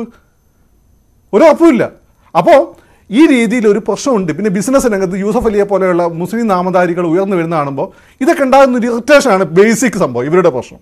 ആ ഒരു പ്രശ്നത്തിൽ അവർ ബി ജെ പി മുസ്ലിംസ് പോയ ബി ജെ പിന്റെ ശത്രുവായി കാണുന്നു. ബി ജെ പി അല്ലെങ്കിൽ മുസ്ലിംസിന് ഒരു ശത്രുവായി കാണുന്ന ഫീൽഡിൽ എന്നാൽ പിന്നെ ആ ഭാഗത്ത് അങ്ങ് കൂടാം. എന്നിട്ട് തൽക്കാലം ഒരു പൊതു ശത്രുവിനെ ഒരുമിച്ച് നിൽക്കാവുന്ന ലൈനാണ് സൈക്കോളജിക്കലി ബേസിക്കലി ഇത്. പക്ഷേ ബി ജെ പി ആ രീതിയിൽ ഇത് കാണും എന്ന് എനിക്ക് തോന്നുന്നില്ല. കാരണം അവരെ സംബന്ധിച്ച് ഗ്രാൻഡ് ഐഡിയ ആണ് അവർക്ക് ഇന്ത്യയെ പറ്റിയിട്ടുള്ളത്. അതെ അത് ആദ്യം എല്ലാവരും വിചാരിച്ചിരുന്നത് ക്രൈസ്തവ സമൂഹത്തെ കൂടെ നിർത്തുവാനുള്ള ഒരു ശ്രമം ഇവിടെ നടത്തുന്നു. അപ്പോൾ ഒരു ചോദ്യം ശക്തമായി ഉയർന്നു വന്നിരുന്നു. ഈദ് അടുക്കുകയാണല്ലോ ചെറിയ പെരുന്നാൾ വരുമ്പോൾ നിങ്ങൾ ഇസ്ലാമത ഇസ്ലാം മത വിശ്വാസികളുടെ ഭവനങ്ങളിൽ പോകുമോ എന്ന്? സ്വീകരിച്ചു അത്? അല്ല അതാണ് കാര്യം. അതാ ഞാൻ പറഞ്ഞു ഇപ്പം എനിക്കിത് പുതിയ കാര്യമൊന്നുമല്ല. അപ്പം എന്റെ വീട്ടിൽ അവിടെ ആസസിന്റെ പ്രധാനപ്പെട്ട ആളുകളായിരുന്നു. പെരുന്നാളിന് അല്ല ഈ ഹിന്ദുസിന്റെ വീട്ടിൽ പൊതുവേ ഈ പറയുന്ന നെയ്ച്ചോ ഇപ്പോഴല്ലേ വന്നു നെയ്ച്ചോറും കോയോസും എന്നാണ് ആർ എസ് എസിന്റെ പ്രധാനപ്പെട്ട ആളുകളാണ്. എനിക്ക് അങ്ങനെ കുട്ടിക്കാലം തൊട്ടേ ഇവരായിട്ട് നല്ല ബന്ധമാണ്. അപ്പം ആ അങ്ങനെ ഒരു ബന്ധം മലബാറിലൊക്കെ പല സ്ഥലത്തും വളരെ സജീവമായിട്ടുണ്ട്. നമ്മൾ കാണുന്ന ഈ പറഞ്ഞ ഗുജറാത്തിലെ കലാപം നടത്തുന്ന ബജ്രംഗ് ദളുകാർ മാത്രമല്ല നമ്മൾ ഓരോരുത്തരെയും വ്യക്തിഗതമായിട്ടുള്ള എക്സ്പീരിയൻസിലേക്ക് പോയ ആർ എസ് എസ്സുകാർ അല്ലെങ്കിൽ കണ്ണൂരുള്ള ഒന്നിന് പകരം രണ്ട് വെട്ടുന്ന സി പി എംമാരല്ല ഒരു പക്ഷേ തിരുവനന്തപുരത്തുള്ള നഗരത്തിലുള്ള സി പി എംമാർ മനസ്സിലായി? ഇത് ഓരോ നാടിന്റെയും എല്ലാം വ്യത്യാസങ്ങളുണ്ട് ഓരോ രാഷ്ട്രീയ പാർട്ടിയിൽ അതിന്റെ അതിന്റെ സമഗ്രതയിൽ നമ്മൾ കാണണം. അപ്പം ഇവിടുത്തെ ഒരു ബേസിക് പ്രശ്നം ഇപ്പം നിങ്ങൾ നോക്കിയാൽ മതി. ഇവിടെ പിന്നെ ബി ജെ പി ഏറ്റവും കൂടുതൽ ശ്രദ്ധിക്കുന്നത് ആരെയാണ് ഇപ്പം സിറിയൻ ക്രിസ്ത്യാനികളാണ്. എന്താണ് സിറിയൻ ക്രിസ്ത്യാനികളുടെ പ്രത്യേകത? സിറിയൻ ക്രിസ്ത്യാനികൾ കളിച്ചതിൽ വലിയൊരു പങ്ക് വരെ അവർ ഈ പറയുന്ന ഹിന്ദുസ് തന്നെയാണ്. നമ്മൾ മലബാറിലെ സുന്നി മുസ്ലിങ്ങളെ പറ്റി. അപ്പോൾ ഞങ്ങളൊക്കെ നേർച്ചയൊക്കെ ചെയ്യുന്നത് ഇസ്ലാമിന് നേർച്ചയ്ക്കൊന്നും ഒരു സാധനമില്ല പക്ഷേ സുന്നി മുസ്ലിംസിന്റെ ഇടയിൽ നേർച്ചയുണ്ട്. അങ്ങനെയുള്ള വിഭാഗമാണ് ഈ സിറിയൻ ക്രിസ്ത്യാനിസ് ഈ ഭരണ നമ്മുടെ കോൺസ്റ്റിറ്റ്യൂഷൻ അസംബ്ലി കൂടിയ സമയത്ത് ദളിത് ക്രിസ്ത്യന് സംവരണം കൊടുക്കണം എന്ന് പറഞ്ഞപ്പോൾ വേണ്ട എന്ന് പറഞ്ഞ ആളുകളാണ് ഇവർ മനസ്സിലാക്കണം. വേണ്ട എന്ന് ആൾ രണ്ട് ഈ സിറിയൻ ക്രിസ്ത്യൻസ് തന്നെ ഫിഫ്റ്റീസിലോ സിക്സ്റ്റീസ് അവർ തീരുമാനം എടുത്തിട്ടുണ്ട് ഇങ്ങനെ മതപരിവർത്തനത്തെ പ്രോത്സാഹിപ്പിക്കേണ്ടത് ഇല്ല. അവർ പണ്ടത് മതപരിവർത്തനത്തെ മതപരിവർത്തനത്തെ പ്രോത്സാഹിപ്പിക്കുന്നില്ല അവർ ആ പടം ചെയ്യുന്നത് കല്യാണം കഴിച്ച് വല്ലവരും വന്നു കഴിഞ്ഞാൽ ചിലപ്പോൾ ഒന്ന് മാമോദീസ പോക്കും. ഇല്ലെങ്കിൽ ആ കുട്ടീനെ ക്രിസ്ത്യാനിയാക്കി വളർത്തും. അതിലുണ്ടാവുന്നത് അപ്പം ആ രീതിയിൽ മതപരിവർത്തനം അതാണ് സംഘത്തിന്റെ ഏറ്റവും വലിയ പ്രശ്നം. ഇവർ അജണ്ട ആയി കൊണ്ടുപോകുന്നില്ല. രണ്ട് ഈ പറയുന്ന നിങ്ങൾ ഈ പറയുന്ന ഈ ഉത്തരേന്ത്യൻ പ്രദേശങ്ങളെല്ലാം വലിയ രീതിയിൽ ഈ പറയുന്ന കൺവേർഷൻ അത് പണ്ട് പാതിരിമാർ നടത്തിയ പോലെ ഈ സുവിശേഷം വായിച്ചു അത് മനസ്സിലാക്കി പരീക്ഷ നടത്തിയിരുന്നല്ല പലതും കാണിച്ചിട്ട് ഈ പാവങ്ങളെ ദാരിദ്ര്യം കഷ്ടപ്പാടും. അത് ഈ പിന്നെ ആർ എസ് എസ് തന്നെയാണ് പിന്നെ ആ- പ്രശ്നം അഡ്രസ്സ് ചെയ്യേണ്ടത്. സുരേഷൊക്കെ തന്നെയാണ് അഡ്രസ്സ് ചെയ്യേണ്ടത്. തിരുവനന്തപുരത്തൊക്കെ നടക്കുന്നുണ്ട്. ഈ പാവങ്ങളുടെ ദാരിദ്ര്യം കഷ്ടപ്പാടും അത് അഡ്രസ്സ് ചെയ്യുന്നു. അതിലേക്ക് പോയി നല്ല വിദ്യാഭ്യാസം കിട്ടും ജോലി കിട്ടും ഇങ്ങനെയുള്ള അമേരിക്ക പോലുള്ള വിസ കിട്ടും. അപ്പോൾ അങ്ങനെ കൺവേർഷൻ നടത്തുന്നുണ്ട്. അത് ഈ പെന്തക്കോസ്റ്റുകാരാണ് ഈ അക്രമങ്ങൾ അധികവും നടത്തുന്നത് ബന്ധക്കോസ്തർക്കെതിരെയാണ് കാരണം ഈ ഹൗസിംഗ് കോളനി നാട് പോയി ഇവർ കൊട്ടും പാട്ടൊക്കെ നടക്കുന്നു അതുണ്ടാകുന്ന സൗണ്ട് പൊല്യൂഷനും മറ്റു പ്രശ്നങ്ങളുണ്ട്. പിന്നെ ചില ക്ഷേത്രങ്ങൾ പിന്നെ എന്തിനാണ് ജന്തർ മന്ദറിൽ പോയി എഴുപത്തിയൊൻപത് സഭകളുടെ നേതൃത്വത്തിൽ സമരം നടത്തുകയും ബംഗളൂരു ആർച്ച് ബിഷപ്പ് സുപ്രീം കോടതിയെ സമീപിക്കുകയും ചെയ്തു ക്രിസ്ത്യൻസ് ക്രിസ്ത്യൻ പൊതുപക്ഷം വരുമ്പോൾ അങ്ങനെ മാറിക്കാൻ പറ്റില്ലല്ലോ. പക്ഷേ ഇവരുടെ എല്ലാ സഭകളും വലിയ ഇപ്പം ബന്ധക്കോസ് സഭകളും തന്നെ വലിയ അഭിപ്രായ വ്യത്യാസങ്ങളുണ്ട്. പക്ഷേ ഒരു പൊതു ക്രിസ്ത്യൻ വരുമ്പം ആഫ്റ്റർ ഓൾ ക്രിസ്ത്യൻസ് ആണ്. അപ്പോൾ അവർക്ക് ഒരുമിച്ച് വരേണ്ടതായിട്ട്. അതാണ് അതിന്റെ ഒരു പ്രശ്നം. മാത്രമല്ല അത്തരം പ്രശ്നങ്ങൾ കൂടി സുരേഷിനെ പോലെയുള്ള ആളുകളുമായിട്ട് ഒരു സമവായത്തിലൂടെ പരിഹരിക്കാൻ അവർ കരുതുന്നുണ്ടാവും. രണ്ട് ഈ പറഞ്ഞ നിങ്ങൾ പറഞ്ഞ പോലെ അവിടെ ഭരിക്കുന്ന ആരാ? ഛത്തീസ്ഗഡ് ഭരിക്കുന്നത്? കോൺഗ്രസ് ആണ്. അപ്പോൾ ഈ ഒരു വലിയ പ്രശ്നമുണ്ട്. പിന്നെ ഞാൻ അവിടെയുള്ള പിന്നെ അത് എനിക്ക് പേഴ്സണലായിട്ട് എക്സ്പീരിയൻസ് മുമ്പ് ഞാൻ ഡൽഹി പഠിക്കുന്ന സമയത്ത് ഞാൻ ദിഗ്വിജയ് സിംഗിന്റെ വീടിന്റെ നേരെ ഓപ്പോസിറ്റ് ആയിരുന്നു താമസിച്ചുകൊണ്ടിരുന്നത്. അപ്പോൾ ഇതുപോലെ റംസാൻ കാലമാണ്. അപ്പോൾ ഞാൻ അവിടെ ഒരു കാവ്യ മുണ്ടൊക്കെ എടുത്തിട്ട് ടീഷർട്ടൊക്കെ ഇട്ട് ഞാൻ സിവിൽ സർവീസ് പഠിക്കുക പഠിച്ചുകൊണ്ടിരിക്കുന്ന സമയം. അപ്പോൾ ഒരു യു പി നിന്ന് ഇയാളെ കാണാൻ വന്നത്. ദിഗ്വിജയ് സിംഗ് ഇവരൊന്നും വീട്ടിൽ കയറ്റില്ലല്ലോ ഇവിടെ നമ്മുടെ ഏരിയ സെക്രട്ടറി വന്നാൽ പിണറായി വിജയൻ വീട്ടിൽ കെട്ടി ചോദിച്ചാൽ അവിടെ അങ്ങനെ അങ്ങനത്തെ പരിപാടിയൊന്നുമില്ല അപ്പോൾ ഇയാൾ ഇവർ രണ്ടുപേർക്ക് മൂത്ത് വയ്ക്കാൻ പോകണം അപ്പോൾ എനിക്ക് റംസാൻ കാലം ഇതിന്റെ ബുദ്ധിമുട്ടൊക്കെ വളരെ കൃത്യമായിട്ട് അറിയുകയും ചെയ്യാം. അപ്പോൾ ഞാൻ നിങ്ങൾ പോയിക്കുന്നു അപ്പോൾ ഇയാൾ അങ്ങ് ഓടി മൂത്ത വന്നിട്ട് അയാൾ മുസ്ലിമാണ് എന്ന് പറഞ്ഞിട്ട് അയാളെ കൂട്ടി അങ്ങ് പോയി. ഒന്ന് ആലോചിച്ച് നോക്കൂ. ഇങ്ങനെയുള്ള പ്രശ്നങ്ങളുണ്ട്. നമ്മൾ ഈ കാണുന്ന കേരളത്തിൽ കാണുന്നതല്ല ഉത്തരേന്ത്യ. ഇത്തരം പ്രശ്നങ്ങളുണ്ട്. അപ്പോൾ എനിക്കാണെങ്കിൽ വലിയ ഈ വന്ന മുസ്ലിം അയാൾക്ക് ഇന്ത്യ ഇംഗ്ലീഷ് അറിയില്ല. എനിക്ക് വലിയ ഇന്ത്യ അറിയില്ല. അതുകൊണ്ട് എനിക്കത് തിരിച്ചു പിടിക്കാൻ പറ്റില്ല. അതായത് കേരളം എന്ന് പറയുന്നത് വ്യത്യസ്തമാണ് എന്ന് പറഞ്ഞുകൊണ്ട് ഇടതു വലത് മുന്നണികൾ എപ്പോഴും പ്രതിരോധം തീർക്കാറുള്ളതാണ് ഈ ബി ജെ പി വരുന്നതിനെ. അത് തന്നെ ബി ജെ പി ഇപ്പോൾ തിരിച്ചു പയറ്റുകയാണ്. അത് തന്നെയാണല്ലോ ക്രൈസ്തവ സമൂഹവും പറയുന്നത്. എക്സാക്ട്ലി അതന്നെ നിങ്ങൾ നോക്ക്. വളരെ കൃത്യമായിട്ട് ബി ജെ പി സുരേഷ് ഒക്കെ ഡയലോഗ് നടത്തുന്ന ആരുമായിട്ടാണ്? സിറിയൻ സഭയായിട്ടാണ്. രണ്ട് ലാറ്റിൻ സഭയായിട്ട്. ഇതിലൊരു ഈ സുരേഷ് സുരേഷ് അല്ല എനിക്ക് തോന്നുന്നു ഈ നമ്മൾ രാജേഷൊക്കെ പോയി കണ്ട ഒരു ഒരു പിതാവിനെ ഞാൻ മുമ്പ് സംസാരിച്ചിട്ടുണ്ട് എന്നാണ് എന്റെ ഒരു രണ്ടായിരത്തി പതിനാറിലെ ഇലക്ഷന്റെ സമയത്ത് എൽ ഡി എഫിന്റെ ഭാഗമായതുകൊണ്ട് ഞങ്ങൾ കുറച്ച് ആളുകൾ പോയി കണ്ടിരുന്നു. കാരണം ആ സമയത്ത് ഒരു എൽ ഡി എഫിനെ സംബന്ധിച്ച് ഡു ആൻഡ് ഡൈ ഫൈറ്റ് ആയിരുന്നല്ലോ. അപ്പോൾ ആ പിതാവ് പറഞ്ഞൊരു കാര്യം ഞാൻ ഇപ്പോൾ ഓർക്കുന്നുണ്ട്. ഈ സി ഈ ബി ജെ പിക്കാർ വന്നാലുള്ള പ്രശ്നം അവർക്ക് നമ്മളെ വോട്ടൊന്നും വേണ്ട നമുക്കൊരു വിലയെ അവർ തരുന്നില്ല എന്ന് പറഞ്ഞിട്ടുണ്ട്. അത് അവരെ അലട്ടിക്കൊണ്ടിരുന്ന പ്രശ്നമായിരുന്നു. കാരണം ഒരു എക്സിസ്റ്റൻഷ്യൽ തൊട്ടുണ്ടായിരുന്നു രണ്ട് പല ആളുകൾക്കും എന്താണ് ഈ പറയുന്ന ഫോറിൻ എന്താണ് എക്സ്ചേഞ്ച് ആക്ടിന്റെ പ്രശ്നങ്ങളുണ്ട്. ഇതെല്ലാം തൽക്കാലം പരിഹരിക്കണേ ബി ജെ പിന്റെ കൂടെ നിൽക്കേ പറ്റുള്ളൂ. ബാക്കി റബ്ബറിന്റെ വിലയൊക്കെ സെക്കൻഡറി ആണ് രണ്ട് ഇത് വെൽ പ്ലാൻഡായിരുന്നു കാരണം എന്ന് വെച്ചാൽ ഈ പറഞ്ഞ പിതാവ് അവിടുന്ന് തലശ്ശേരി പിതാവ് ഈ പറയുന്ന പോലെ റബ്ബറിന്റെ വിലേന്റെ കാര്യം പറഞ്ഞു നിങ്ങളെ ചാനലിൽ അന്ന് വരുന്ന ബി ജെ പി ഡിസ്കഷൻ വരുന്ന ആളുകളെല്ലാം ഈ റബ്ബറിന്റെ വിലയായിട്ട് ബന്ധപ്പെട്ട കാര്യങ്ങൾ വെൽ സ്റ്റഡീഡാണ് അന്ന് ഡിസ്കഷൻ വന്ന ബാക്കി പാർട്ടിക്കാരെല്ലാം മുകളിലോട്ട് നോക്കിയായിരുന്നു. അല്ല അതിൽ പി കെ ഗോവൻ പറഞ്ഞു ഇത് ഇന്നും ഇന്നലെയും തുടങ്ങിയ കാര്യമൊന്നുമല്ല ഇതൊരു കുറെ നാളുകളായിട്ട് കുറെ മാസങ്ങളായിട്ട് ഉരുത്തിരിഞ്ഞു വന്ന കാര്യമാണ് അതാണ് താങ്കൾ നേരത്തെ പറഞ്ഞ പി എസ് ശ്രീധരൻ പിള്ളയെ പോലുള്ള ആളുകൾക്ക് ന്യൂനപക്ഷങ്ങളോടുള്ള അടുപ്പം അതുപോലും മുതലെടുത്ത് അദ്ദേഹത്തിന് മാത്രമല്ല ഇപ്പൊ സെൻട്രൽ ട്രാവൻ ഇപ്പം അദ്ദേഹം മലബാറിലാണ്. സെൻട്രൽ ട്രാവൻകൂറിലേക്ക് വരുമ്പോൾ നമ്മുടെ കുമ്മനം കുമ്മനം എല്ലാ സഭകൾക്കും വളരെ വേണ്ടപ്പെട്ട ആളാണ്. അതുപോലെ തന്നെ പല വിഷയങ്ങൾ വരുമ്പോൾ ഞാൻ പറഞ്ഞല്ലോ മാണി കെ പിന്നെ ജോസ് കെ മാണി ആദ്യം തോറ്റ ഇലക്ഷൻ എങ്ങനെയാണ് വോട്ട് പോയത്? ബി ജെ പിക്ക് അല്ലേ ഗുജറാത്ത് കലാപം കഴിഞ്ഞിരിക്കുന്ന സമയത്ത് കേരളത്തിൽ ഒരു നിയമസഭാ ലോക്സഭാ സീറ്റിൽ ബി ജെ പി വിജയിക്കുന്നു. ബി ജെ പി അല്ല ബി ജെ പിയുടെ സഖ്യകക്ഷി എൻ ഡി എ. അവരുടെ കേരള കോൺഗ്രസിന്റെ ഘടകം വിജയിക്കുന്നു. അതുപോലെ പല മേഖലകളിലും. അപ്പം ഈ ഒരു കൊടുക്കൽ വാങ്ങും ഇപ്പം അതുപോലെ തന്നെ ബോംബെയിലൊക്കെ ഉള്ള ചില ക്രിസ്ത്യൻസ് സുഹൃം ക്രിസ്ത്യൻസ് പറയുന്നത് ഞാൻ കേട്ടിട്ടുണ്ട്. ഞങ്ങളൊന്ന് മുസ്ലിംസിന് വീട് കൊടുക്കില്ല. ഇത് അവിടെ ആരാ പറയുന്നത് ശിവസേനക്കാരാ പറഞ്ഞുകൊണ്ടിരിക്കുന്നത്. അപ്പം ഇങ്ങനെ ഒരു ബന്ധമുണ്ട്. ബന്ധമുണ്ട്. അത് കേരളത്തിലെ ഒരു പ്രത്യേക സമ്മാനിച്ചതുണ്ട് അതുപോലെ തന്നെ കെ കരുണാകരൻ അതുപോലെ തന്നെ ഉമ്മൻചാണ്ടി പ്ലസ് കുഞ്ഞാലിക്കുട്ടി. ആ ഒരു നാലെണ്ണത്ത് കിടന്നുകൊണ്ട് അവർക്ക് മറ്റ് പ്രശ്നങ്ങളില്ലാതെ അവർ ആ ഒരു ഒരു അഡ്ജസ്റ്റ്മെന്റ് നിൽക്കുകയായിരുന്നു.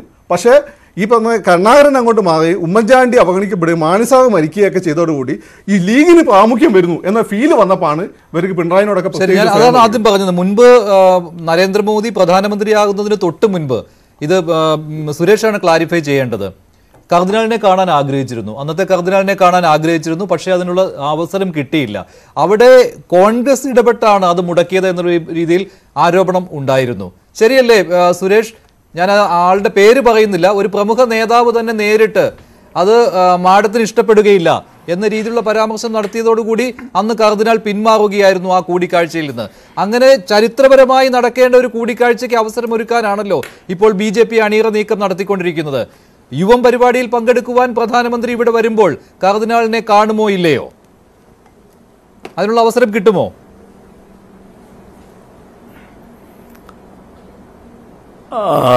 മഞ്ജുഷ് യുവ പരിപാടിയിൽ അദ്ദേഹം പങ്കെടുക്കുന്നത് തേവര സാക്രഡ് ഹാർട്ട് കോളേജിലെ ഗ്രൗണ്ടിലാണ്. അതും ഒരു നല്ല സൂചനയായിട്ട് തന്നെ താങ്കളും അതോടൊപ്പം തന്നെ ഇടതുപക്ഷവും വലതുപക്ഷവും കണ്ടോളൂ നമുക്കറിയാം ഇവിടെ ഈ കേരളത്തിൽ രണ്ട് രാഷ്ട്രീയ പാർട്ടികളും കമ്മ്യൂണിസ്റ്റ് പാർട്ടിയെ സംബന്ധിച്ചിടത്തോളം ഇന്നൊരു ദേശീയ പാർട്ടി എന്ന നിലയിലുള്ള ഒരു ദേശീയ പാർട്ടി നാഷണൽ പാർട്ടി എന്ന് പറയുന്ന ടൈറ്റിൽ കിട്ടിയിരിക്കുന്നത് ശിവസേനയുടെയും കോൺഗ്രസിന്റെയും സഹായത്തോടുകൂടിയാണ്. മഹാരാഷ്ട്രയിലും തമിഴ്നാട്ടിലും ഉള്ള രണ്ട് എന്താ വോട്ടിന്റെ ശതമാനവും കൂടി വച്ചിട്ടാണ് എം എൽ എമാരുടെ എണ്ണവും കൂടി വച്ചിട്ടാണ് ഇന്ന് സി പി എം ജീവിച്ചു പോകുന്നത്.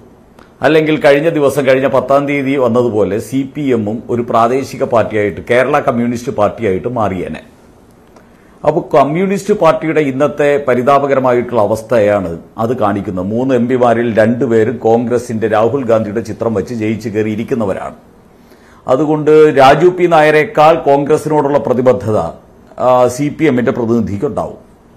കാരണം അവർക്കൊരു നാഷണൽ പാർട്ടി എന്നുള്ള ടൈറ്റിൽ കൊടുത്തത് രാഹുൽ ഗാന്ധിയുടെ കൃപയും കടാക്ഷവും കൊണ്ടാണ്.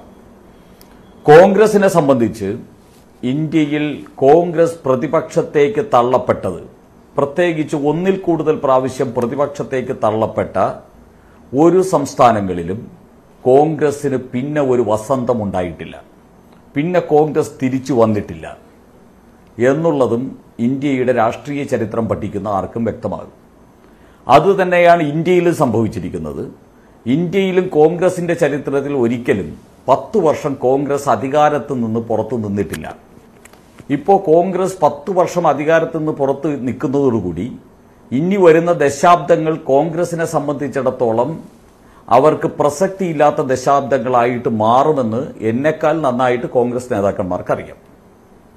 ഇവർ ഇത്രയും കാലം ഈ കേരള രാഷ്ട്രീയത്തെ കൊണ്ടുപോയിക്കൊണ്ടിരുന്നത് കമ്മ്യൂണിസ്റ്റ് പാർട്ടി നയനാരുടെ കാലഘട്ടം വരെ മതേതരത്വവും ഒരു ഹിന്ദു ഹിന്ദു സെന്റിമെന്റ്സിന് കുറച്ചൊക്കെ മൂല്യങ്ങളും വിലയൊക്കെ നൽകിക്കൊണ്ട് പരിശ്രമിച്ചിരുന്നു.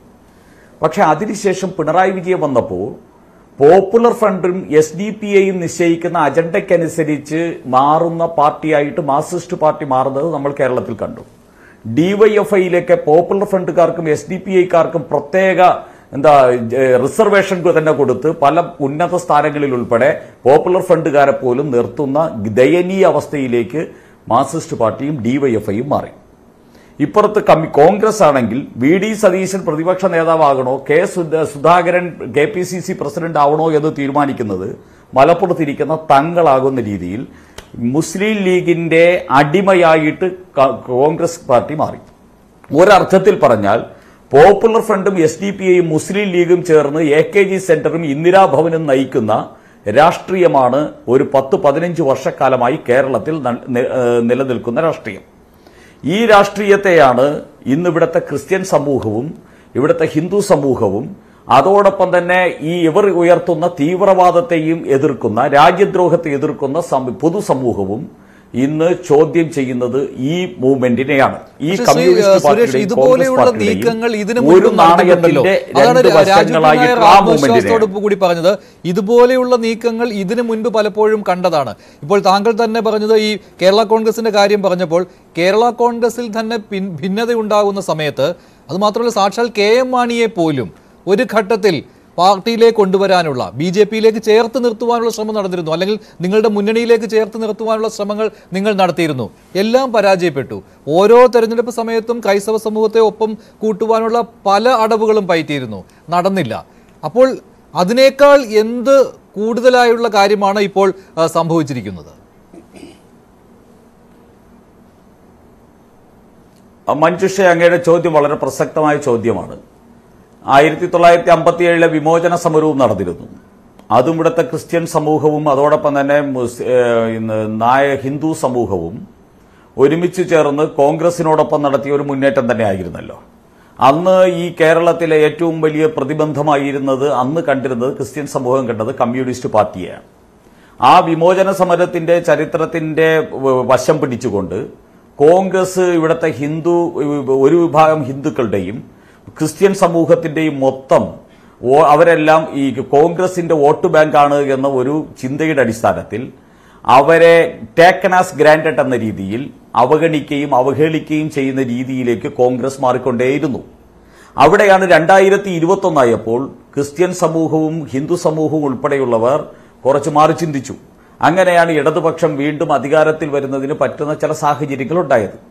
അതും അപകടമാണ് എന്ന് മനസ്സിലാക്കിയ ക്രിസ്ത്യൻ സമൂഹമാണ് ഇന്നൊരു മാറ്റത്തിന് ആഗ്രഹിക്കുന്നത്. അങ്ങയുടെ ചോദ്യത്തിലേക്ക് ഇനി ഞാൻ വരുന്നു.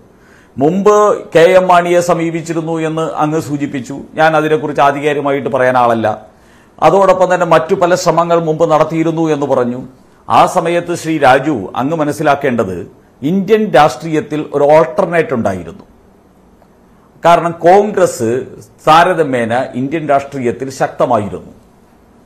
കേരളത്തിലും കമ്മ്യൂണിസ്റ്റ് പാർട്ടി ഇന്ത്യയിലെ പശ്ചിമബംഗാളും ത്രിപുരയും കേരളവും ഉൾപ്പെടെയുള്ള സ്ഥലങ്ങളിൽ കമ്മ്യൂണിസ്റ്റ് പാർട്ടികളും ഒരു നാഷണൽ പാർട്ടി ഒരു റിയൽ നാഷണൽ പാർട്ടി തന്നെ ആയിരുന്നു. ഇന്ന് ഇന്ത്യൻ രാഷ്ട്രീയത്തിൽ ഈ ഒരു മാറ്റം വന്നിരിക്കുന്നു. ബി ജെ പി എന്ന് പറയുന്ന ഒരു റിയൽ നാഷണൽ പാർട്ടി മാത്രമേ ഇന്ത്യയിലുള്ളൂ. കോൺഗ്രസ് എന്ന് പറയുന്ന മൂന്ന് സംസ്ഥാനങ്ങളിൽ മാത്രം ഭരിക്കുന്ന പാർട്ടിയും സി പി എം എന്ന് പറയുന്നത് ഒരു സംസ്ഥാനത്ത് മാത്രം ഭരിക്കുന്ന പാർട്ടിയും ആയിട്ട് മാറുന്ന രാഷ്ട്രീയ ധ്രുവീകരണമോടെ കോൺഗ്രസിനേക്കാൾ ഇമ്പിടി കേമനായിട്ട് ആം ആദ്മി പാർട്ടി പോലെയുള്ള പ്രാദേശിക പാർട്ടികൾ വളർന്നു വരുന്ന സാഹചര്യം ഉണ്ടായിരിക്കുന്നു. അപ്പോൾ ഇന്ന് നാഷണൽ ലെവലിൽ ഒരു റിയൽ നാഷണൽ പാർട്ടി എന്ന് പറയുന്നത് ഭാരതീയ ജനതാ പാർട്ടിയാണ്. ആ പാർട്ടി കഴിഞ്ഞ ഒൻപത് വർഷമായി രാജ്യത്തെ ഒരു റിയൽ പവറാക്കി മാറ്റിക്കഴിഞ്ഞിരിക്കുന്നു. രാജ്യത്തെ സാധാരണക്കാരന്റെ മുമ്പിലേക്ക് ക്ഷേമവും ഐശ്വര്യവും എത്തിയിരിക്കുന്നു. രാജ്യം കുതിച്ചുയരുന്നു. അഞ്ചാമത്തെ ലോകത്തിലെ സാമ്പത്തിക ശക്തിയായി മാറി. അവസരം കൊടുക്കേണ്ടതുണ്ട്. ഡോക്ടർ പി കെ ഗോപൻ, നേരത്തെ പി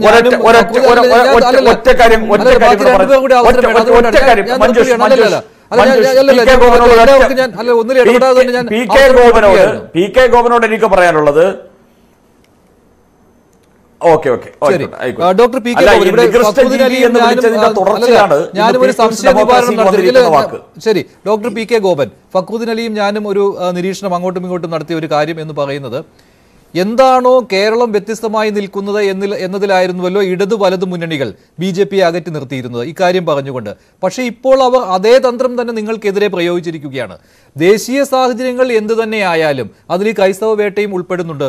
ക്രൈസ്തവ സമൂഹത്തെ അത് കേരളത്തിന് ബാധകമല്ല എന്ന രീതിയിൽ മാറ്റിയെടുത്തുകൊണ്ട് തങ്ങളിലേക്ക് ആകർഷിക്കുവാനുള്ള തന്ത്രപരമായ നീക്കമാണ് ഇവിടെ നടന്നത്. അതിലവർ വിജയിക്കുമോ ഇല്ലയോ എന്നുള്ളതാണ് ഇനി കാണുവാനുള്ളത്. അതവർ സമർത്ഥമായി ഓരോ രീതിയിലും നടപ്പിലാക്കിക്കൊണ്ടിരിക്കുകയാണ്. പ്രധാനമന്ത്രിയുടെ വരവും അതിലേക്കുള്ള മറ്റൊരു പടിയാണ്.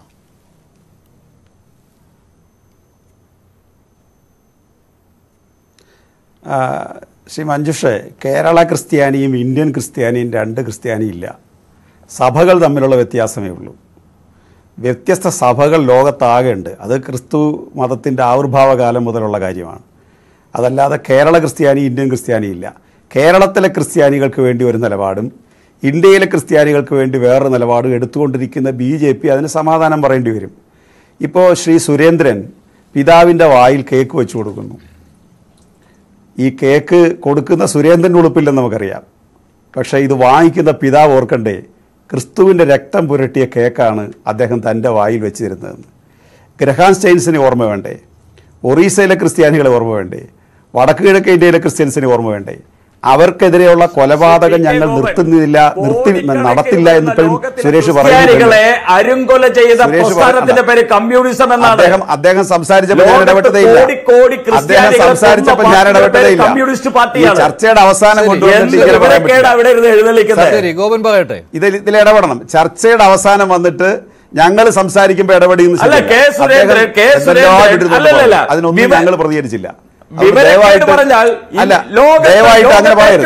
അങ്ങനെ പറഞ്ഞാൽ ഒരു സെക്കൻഡ് പോലും ഇവിടെ മാത്രം റഷ്യയിൽ മാത്രം റഷ്യയിൽ മാത്രം നിങ്ങൾ എത്ര കോടി ക്രിസ്ത്യാനികളെ കൊന്നു? പറയൂ. കിഴക്കൻ യൂറോപ്യൻ രാജ്യങ്ങളിൽ എത്ര കോടി ക്രിസ്ത്യാനികളെ കൊന്നു? ഞങ്ങൾ ആരും ഇടപെട്ടില്ല. ഞങ്ങൾ മൂന്ന് പേരും അദ്ദേഹത്തിന്റെ അദ്ദേഹം തിണ്ണമെടുക്ക് കാണിക്കരുത്. അല്ല അഹങ്കാരം കെ സുരേന്ദ്രന്റെ കേക്കിൽ നിങ്ങൾ രക്തം കണ്ടെങ്കിൽ അഹങ്കാരം കാണിക്കരുത്. നിങ്ങൾ അങ്ങനെ സംസാരിക്കണ്ടെങ്കിൽ സംസാരിക്കണ്ട. നിങ്ങൾ അങ്ങനെ ചെങ്കൊടിയിലെ രക്തം അങ്ങ് ഏത് ഏത്. ഞങ്ങൾക്ക് മറുപടി പറയാം? പക്ഷെ സംസാരിക്കാൻ അനുവദിക്കില്ല കമ്മ്യൂണിസ്റ്റ് പാർട്ടിയുടെ കമ്മ്യൂണിസ്റ്റ് പാർട്ടികളെ. ചുമപ്പ് എന്ന് പറയുന്നത് ക്രിസ്ത്യാനിയുടെ. രക്തമാണ്. പാർട്ടിയുടെ. ചാനൽ മുറി കാണിക്കരുത്. സമയം കഴിയുന്നു സമയം കഴിയുന്നു. അല്ലാതെ ശരിയായ ഏർപ്പാടല്ല ഞങ്ങൾ സംസാരിക്കാൻ നിങ്ങൾ സമ്മതിക്കത്തില്ല അവിടെ നിങ്ങളുടെ ഫാസിസം ഗോപൻ പറയട്ടെ. അത് നിങ്ങൾ മനസ്സിലാക്കണം. അല്ലെ ശ്രീ മഞ്ജുഷ നിങ്ങൾ ഒന്നിൽ അദ്ദേഹത്തിന്റെ മൈക്ക് ഓഫ് ചെയ്യണം. അല്ലെങ്കിൽ ഞങ്ങൾ ഈ ചർച്ചയിൽ ഒഴിവാക്കണം. ചോദ്യങ്ങൾക്കും മറുപടി പറയാൻ പറ്റാത്ത. B J P mike off ചെയ്യ്, അല്ലെങ്കിൽ അനാവശ്യമായിട്ട് ചർച്ച വഴിപൊട്ടിക്കുകയാണ് വഴിവിട്ടിക്കുകയാണ് നിങ്ങൾ എന്താ ഈ കാണിക്കുന്നത്? ഗോവൻ പറയട്ടെ ഗോവൻ പറയട്ടെ. ഈ ചർച്ചയിൽ വഴിതെറ്റിക്കുക. ഞാൻ പറഞ്ഞത് സുരേന്ദ്രൻ കേക്ക് വെച്ച് വായി വെച്ച് കൊടുക്കുമ്പോൾ വടക്കേ ഇന്ത്യയിലെ ബി ജെ പികൾ ബി ജെ പി പ്രവർത്തകർ ക്രൈസ്തവരോട് ചെയ്യുന്ന എന്താ? കേക്കിന് വരെ കത്തിയായിട്ടാണ് ചെല്ലുന്നേ. വളരെ ലളിതമായ ഒരു ചോദ്യം ഞാൻ ചോദിക്കട്ടെ. കേരളത്തിലെ ക്രൈസ്തവ സമൂഹത്തിലെ പാവപ്പെട്ടവർ ആവശ്യപ്പെടുന്നത് അല്ലെങ്കിൽ ഇത്രയും കാലം ആവശ്യപ്പെട്ടുകൊണ്ടിരുന്നത് അല്ലെങ്കിൽ ഇന്ത്യയിലെ ക്രൈസ്തവർ ആവശ്യപ്പെട്ടുകൊണ്ടിരുന്നത് നിങ്ങൾ ഞങ്ങളുടെ വീട്ടിലേക്ക് ഈസ്റ്ററിന് വരാത്തതെന്ത് കേരളത്തിലെ ഇസ്ലാം ചോദിക്കുകയാണ് നിങ്ങൾ ഞങ്ങളുടെ വീട്ടിലേക്ക് ഈദിന് വരാത്തത് എന്താണ്? ഇതല്ല ക്വസ്റ്റ്യൻ ഇന്ത്യയിലെ പ്രശ്നം. ബി ജെ പിക്കാർ ഞങ്ങളുടെ വീട്ടിൽ പെരുന്നാളിൽ വരുന്നോ ഇല്ലയോ എന്നുള്ളതല്ല പ്രശ്നം. ബി ജെ പിക്കാർ പത്ത് അറുന്നൂറ് വർഷക്കാലം ഇന്ത്യ രാജ്യത്തെ മുഗൾ ഭരണത്തിന്റെ ഭാഗമായി കടന്നു വന്ന മനോഹരമായ ശില്പങ്ങൾ തകർക്കുന്നു. മനോഹരമായ ആരാധനാലയങ്ങൾ തകർക്കുന്നു. പശുവിന്റെ പേരിൽ മനുഷ്യനെ കൊല്ലുന്നു. ജീവിതം തകർക്കുന്നു. തീയിട്ട് നശിപ്പിക്കുന്നു. അത് ചെയ്യരുതെന്നാണ് ന്യൂനപക്ഷങ്ങളുടെ ആവശ്യം. ഗ്രഹാൻ സെയിൻസിന്റെ പിന്നെ ഓർമ്മകൾ നമ്മളോട് പറയുന്നത് ഞങ്ങൾക്ക് കേക്ക് വേണ്ട ഞങ്ങളെ ചുട്ടുകൊല്ലരുത്. ഞങ്ങളുടെ പള്ളിയിൽ പ്രാർത്ഥിക്കാൻ ഞങ്ങളെ അനുവദിക്കണം. നാനൂറും അഞ്ഞൂറും പള്ളിയാണ് ഓരോ സ്റ്റേറ്റിലും തകർത്തുകൊണ്ടിരിക്കുന്നത്. അതൊന്നും ചെയ്യരുതെന്നാണ് അവർ ആവശ്യപ്പെടുന്നത്. അല്ലാതെ ഞങ്ങളുടെ വീട്ടിൽ പള്ളിയിൽ പെരുന്നാളിന് വരാത്തത് എന്താണെന്നല്ല അവർ ചോദിക്കുന്നത് നിങ്ങളിപ്പോൾ പെരുന്നാളിൽ ചെന്നിട്ട് കേരളത്തിലെ ക്രിസ്ത്യാനികളുടെ ജീവിത സുഭിക്ഷമായിട്ടുള്ള ഒരു സാമാന്യം മെച്ചപ്പെട്ട ഒരു ജീവിത നിലവാരമുള്ള കേരളത്തിലെ ക്രൈസ്തവരിൽ ഒറ്റപ്പെട്ട ചില പുരോഹിതന്മാർ ക്രൈസ്തവ സഭയും ആർ എസ് എസുമായിട്ട് സഖ്യം ചേരാൻ ആഗ്രഹിക്കുന്നുണ്ടാകാം. അതിന്റെ കാരണം വ്യത്യസ്ത വ്യക്തിപരമാണ് സമ്പ സാമ്പത്തികമാണ് മറ്റു പല താല്പര്യങ്ങളുമാണ്. പക്ഷേ മഹാഭൂരിപക്ഷം വരുന്ന കേരളത്തിലെ ക്രൈസ്തവരായിട്ടുള്ള വ്യത്യസ്ത രാഷ്ട്രീയ പാർട്ടികളിൽ നിൽക്കുന്ന ആളുകൾക്ക് ആർ എസ് എസുമായിട്ട് സന്ധി ചെയ്യാൻ പറ്റില്ല. കാരണം അവർ ക്രിസ്തുവിനെ ആരാധിക്കുന്നവരാണ്. ക്രിസ്തുവിന്റെ രക്തം കണ്ടവരാണ്. ലോകത്തിന് വേണ്ടി ത്യാഗം ചെയ്ത ഒരു മനുഷ്യന്റെ പിന്മുറക്കാരാണവർ. അവർക്ക് ആർ എസ് എസിനോട് ബന്ധപ്പെടാൻ കഴിയില്ല. അത് അദ്ദേഹം വളരെ കൃത്യമായിട്ട് മനസ്സിലാക്കേണ്ട ഒരു കാര്യമാണ്. കേരളവും ഇന്ത്യയിലെ മറ്റ് സ്റ്റേറ്റുകളുമായിട്ട് വ്യത്യസ്തമായ ഒരു സമീപനം എടുത്തിട്ട് പോകാൻ കഴിയില്ല. കാരണം ബി ഇന്ത്യ ഭരിച്ചുകൊണ്ടിരിക്കുന്ന ഒരു രാഷ്ട്രീയ പാർട്ടിയാണ്. എന്തുകൊണ്ട് കേരളത്തിൽ വന്ന് ആലഞ്ചേരി പിതാവിനെ കാണുന്ന അല്ലെങ്കിൽ കർദിലാളിനെ കാണുന്ന നരേന്ദ്രമോദിക്ക് അദ്ദേഹത്തിന്റെ സംസ്ഥാനത്തെ പാവപ്പെട്ട ക്രൈസ്തവരുടെ ആരാധനാ സ്വാതന്ത്ര്യം ഉറപ്പ് വരുത്താൻ കഴിയാത്തത്? ജീവിത സുരക്ഷ ഉറപ്പ് ഉറപ്പുവരുത്താൻ കഴിയാത്തത്?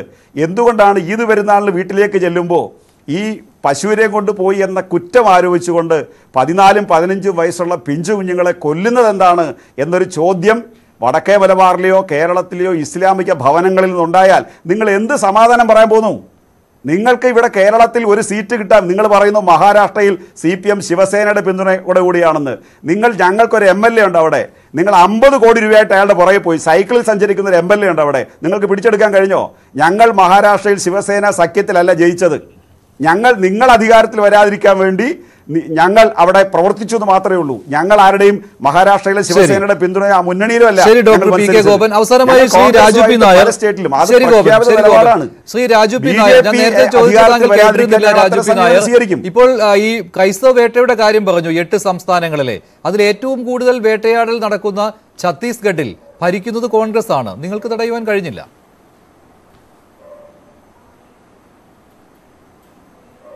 അല്ല മഞ്ജുഷ് ഇതെന്താ? ഇത് ഇത് ആര് ഭരിക്കുന്നു നോക്കിയിട്ടുള്ളതല്ല.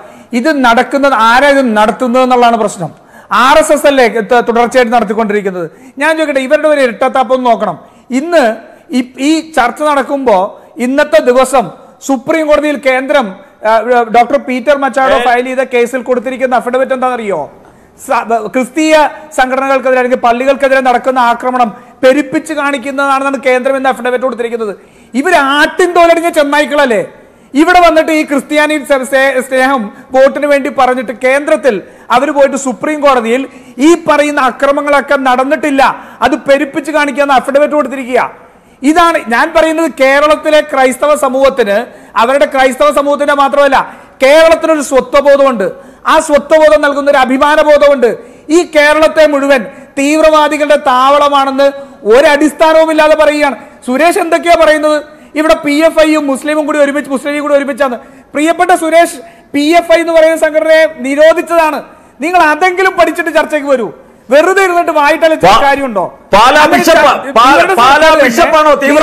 സംഘടനയും മുസ്ലിം വിവരക്കേട് വല്ലതും പറഞ്ഞിട്ട് കാര്യം നിങ്ങൾ മിണ്ടായിരിക്കും? ഞാൻ നിങ്ങൾ പറഞ്ഞപ്പോഴേ കേട്ടല്ലോ. എന്നിട്ട് ഇവിടെ എന്താ പ്രശ്നം? ഇവിടെ ഈ പറയുന്ന കേരളത്തെ എന്താ വിളിച്ചത്? സോമാലിയ. കേരളത്തെ കർണാടകയിൽ കഴിഞ്ഞ ഈ കഴിഞ്ഞ തെരഞ്ഞെടുപ്പിന്റെ സമയത്ത് എന്താ പറഞ്ഞത്?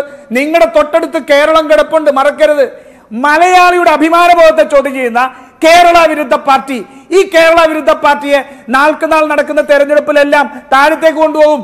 അവിടെ മുന്നൂറ് രൂപയുടെ റബ്ബറും അല്ലെങ്കിൽ ഈ പറയുന്ന ഇ ഡി കേസൊന്നും അല്ല മലയാളിയുടെ സ്വത്വബോധമാണ്. ആ സ്വത്വബോധത്തിനെതിരായിട്ടാണ് നിങ്ങൾ നിൽക്കുന്നത്. ശബരിമല കത്തിയപ്പോൾ കത്തിയപ്പോ വരെ നിങ്ങൾ ക്രിസ്ത്യൻ സംഘടനകളെ ആക്രമിച്ചതല്ലേ? മദർ തെരേസയ്ക്ക് ഭാരതരത്നം കൊടുക്കുന്നത് പിൻവലിക്കണം എന്ന് പറഞ്ഞത് നിങ്ങൾ തിരുത്താൻ തയ്യാറാണോ? ഈ വിചാരധാരയിൽ ക്രിസ്ത്യാനികൾക്കെതിരെ പറഞ്ഞിരിക്കുന്നത് മുസ്ലിങ്ങൾക്കെതിരെ പറഞ്ഞിരിക്കുന്നത്.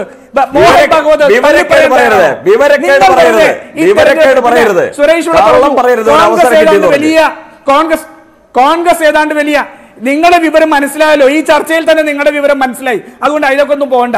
നിങ്ങൾ സമയം കളയാൻ നോക്കല്ലേ. ഈ സുരേഷ് ഇവിടെ പറഞ്ഞത് എന്താ? ഈ ഈ പറഞ്ഞ മാതിരി എന്താ പറയുക ഞാനത് ഇടയ്ക്ക് വന്നപ്പോൾ വിട്ടുപോയി. പിന്നെന്താ?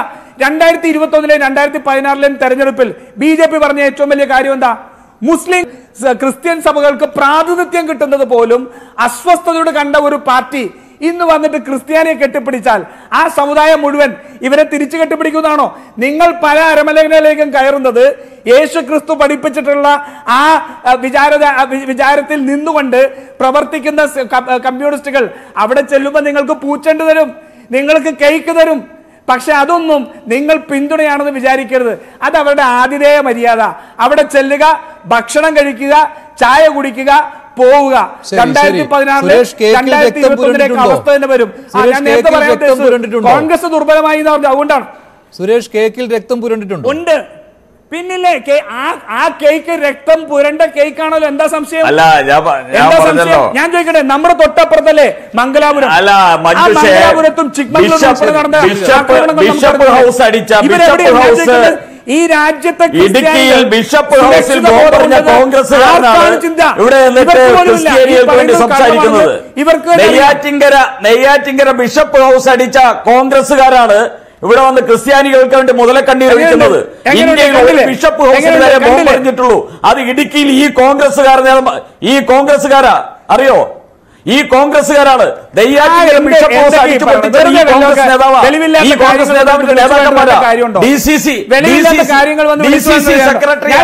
ആരാണ്? അതുകൊണ്ട് ഛത്തീസ്ഗഡിൽ ഛത്തീസ്ഗഡിൽ ഛത്തീസ്ഗഡിൽ ഏറ്റവും കൂടുതൽ ക്രിസ്ത്യാനികൾ? പീഡിപ്പിക്കപ്പെട്ടപ്പോൾ കന്യാസ്ത്രീയെ വിവസ്ത്രയാക്കി പരേഡ് നടത്തിച്ചത് ആരാ? ഒന്ന് പറഞ്ഞേ. സുരേഷ് ഒന്ന് പറ.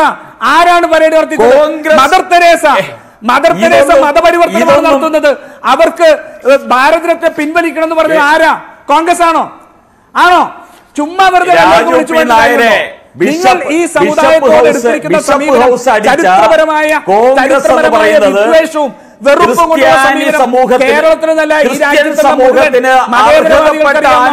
ഈ മുസ്ലിം ലീഗിന്റെ.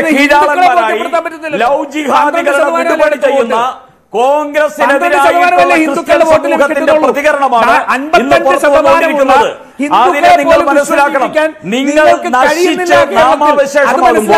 നിങ്ങൾ ഇവിടുത്തെ ക്രിസ്ത്യാനികളെ ഇത്രയും കാലമായി വഞ്ചിച്ചതിനെതിരായിട്ടുള്ള അതിശക്തമായ? പ്രതികരണമാണ്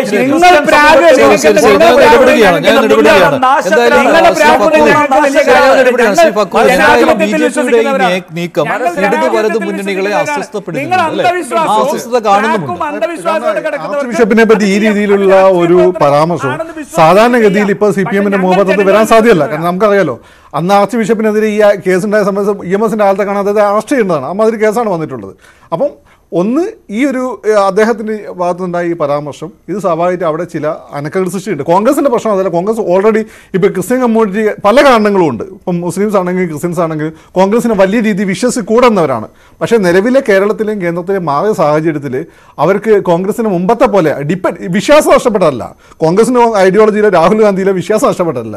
രാഹുൽ ഗാന്ധിയുടെ ഇപ്പോൾ സ്നേഹം ബഹുമാനം കൂടിയിട്ടുണ്ട് ഈ രണ്ട് കമ്മ്യൂണിറ്റി പക്ഷേ പ്രശ്നം എന്ന് വെച്ചാൽ ഇവർക്ക് രാഷ്ട്രീയമായ ഒരു അനിശ്ചിതത്വം. അനിശ്ചിതത്വം. എത്രമാത്രം ഇനി കോൺഗ്രസിനെ ഡിപ്പെൻഡ് ചെയ്യാൻ പറ്റും എന്നുള്ള ഫീലാണ് മറ്റൊരു കാര്യം ഈ കേരള കോൺഗ്രസുകൾ ഇങ്ങനെ ഭിന്നിച്ച് ഭിന്നിച്ച് പോയതും അല്ലേ കെ മാണി ഇല്ലാത്തതും ഈ കേരളത്തിൽ കേരള കോൺഗ്രസിന്റെ ഭാവി ഇനി എന്തായിരിക്കും? ഇങ്ങനെയുള്ള ഒരുപാട് ചോദ്യങ്ങൾ ഈ ക്രൈസ്തവ സമൂഹത്തിന് മുന്നിൽ. മാണിസാർ ഇല്ലാത്തത്. മാണിസാറിനെ ഈ കോൺഗ്രസ് ആര് പറ്റിച്ചു മുഖ്യമന്ത്രി ആക്കാതെ പറ്റിച്ചു. അതുപോലെ തന്നെ ഉമ്മൻചാണ്ടിനെ സൈഡ് ലൈൻ ചെയ്തു.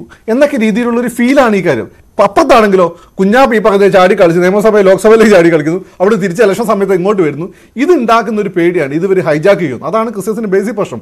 അപ്പോൾ കോൺഗ്രസിന് എന്ത് ചെയ്യാൻ പറ്റുമെന്ന് വെച്ചാൽ കോൺഗ്രസിന് പ്രത്യേകിച്ച് ഒന്നും ചെയ്യാൻ പറ്റില്ല. കാരണം ഒറ്റയ്ക്ക് എടുത്ത് നോക്കിയാൽ ഒരു പക്ഷേ നിയമസഭാ സീറ്റുകൾ എത്രണ്ണം ജയിക്കാൻ പറ്റും നോക്കി കഴിഞ്ഞാൽ കോൺഗ്രസിനെക്കാട്ടും ശക്തമായ ലീഡർഷിപ്പിൽ വന്നിട്ടുള്ള ഒരു- ഒരു- ലീഗാണ് ലീഗാണ് ഇവിടെ ശ്രദ്ധിക്കേണ്ടത്. ശരി ഞാൻ ചർച്ച അവസാനിപ്പിക്കുകയാണ്. നന്ദി ചർച്ചയിൽ പങ്കെടുത്ത Shri Fakhruddin Ali doctor P K Gopan Shri S Suresh Shri Raju P Nair. ഇന്ന് പയൻ ഡിബേറ്റിലെ ചോദ്യം ഇതായിരുന്നു ക്രിസ്ത്യൻ സഭകളുമായുള്ള അടുപ്പം കേരളത്തിൽ ഗുണം ചെയ്യുമെന്ന ബി ജെ പി വിലയിരുത്തലിൽ കാര്യമുണ്ടോ? ഉണ്ട് എന്നാണ് അൻപത്തിയേഴ് ശതമാനം പ്രേക്ഷകരുടെയും അഭിപ്രായം. ഇല്ല എന്ന് മുപ്പത്തിയെട്ട് ശതമാനം പ്രേക്ഷകർ അഭിപ്രായപ്പെട്ടിരിക്കുന്നു. നിഷ്പക്ഷം അഞ്ച് ശതമാനം.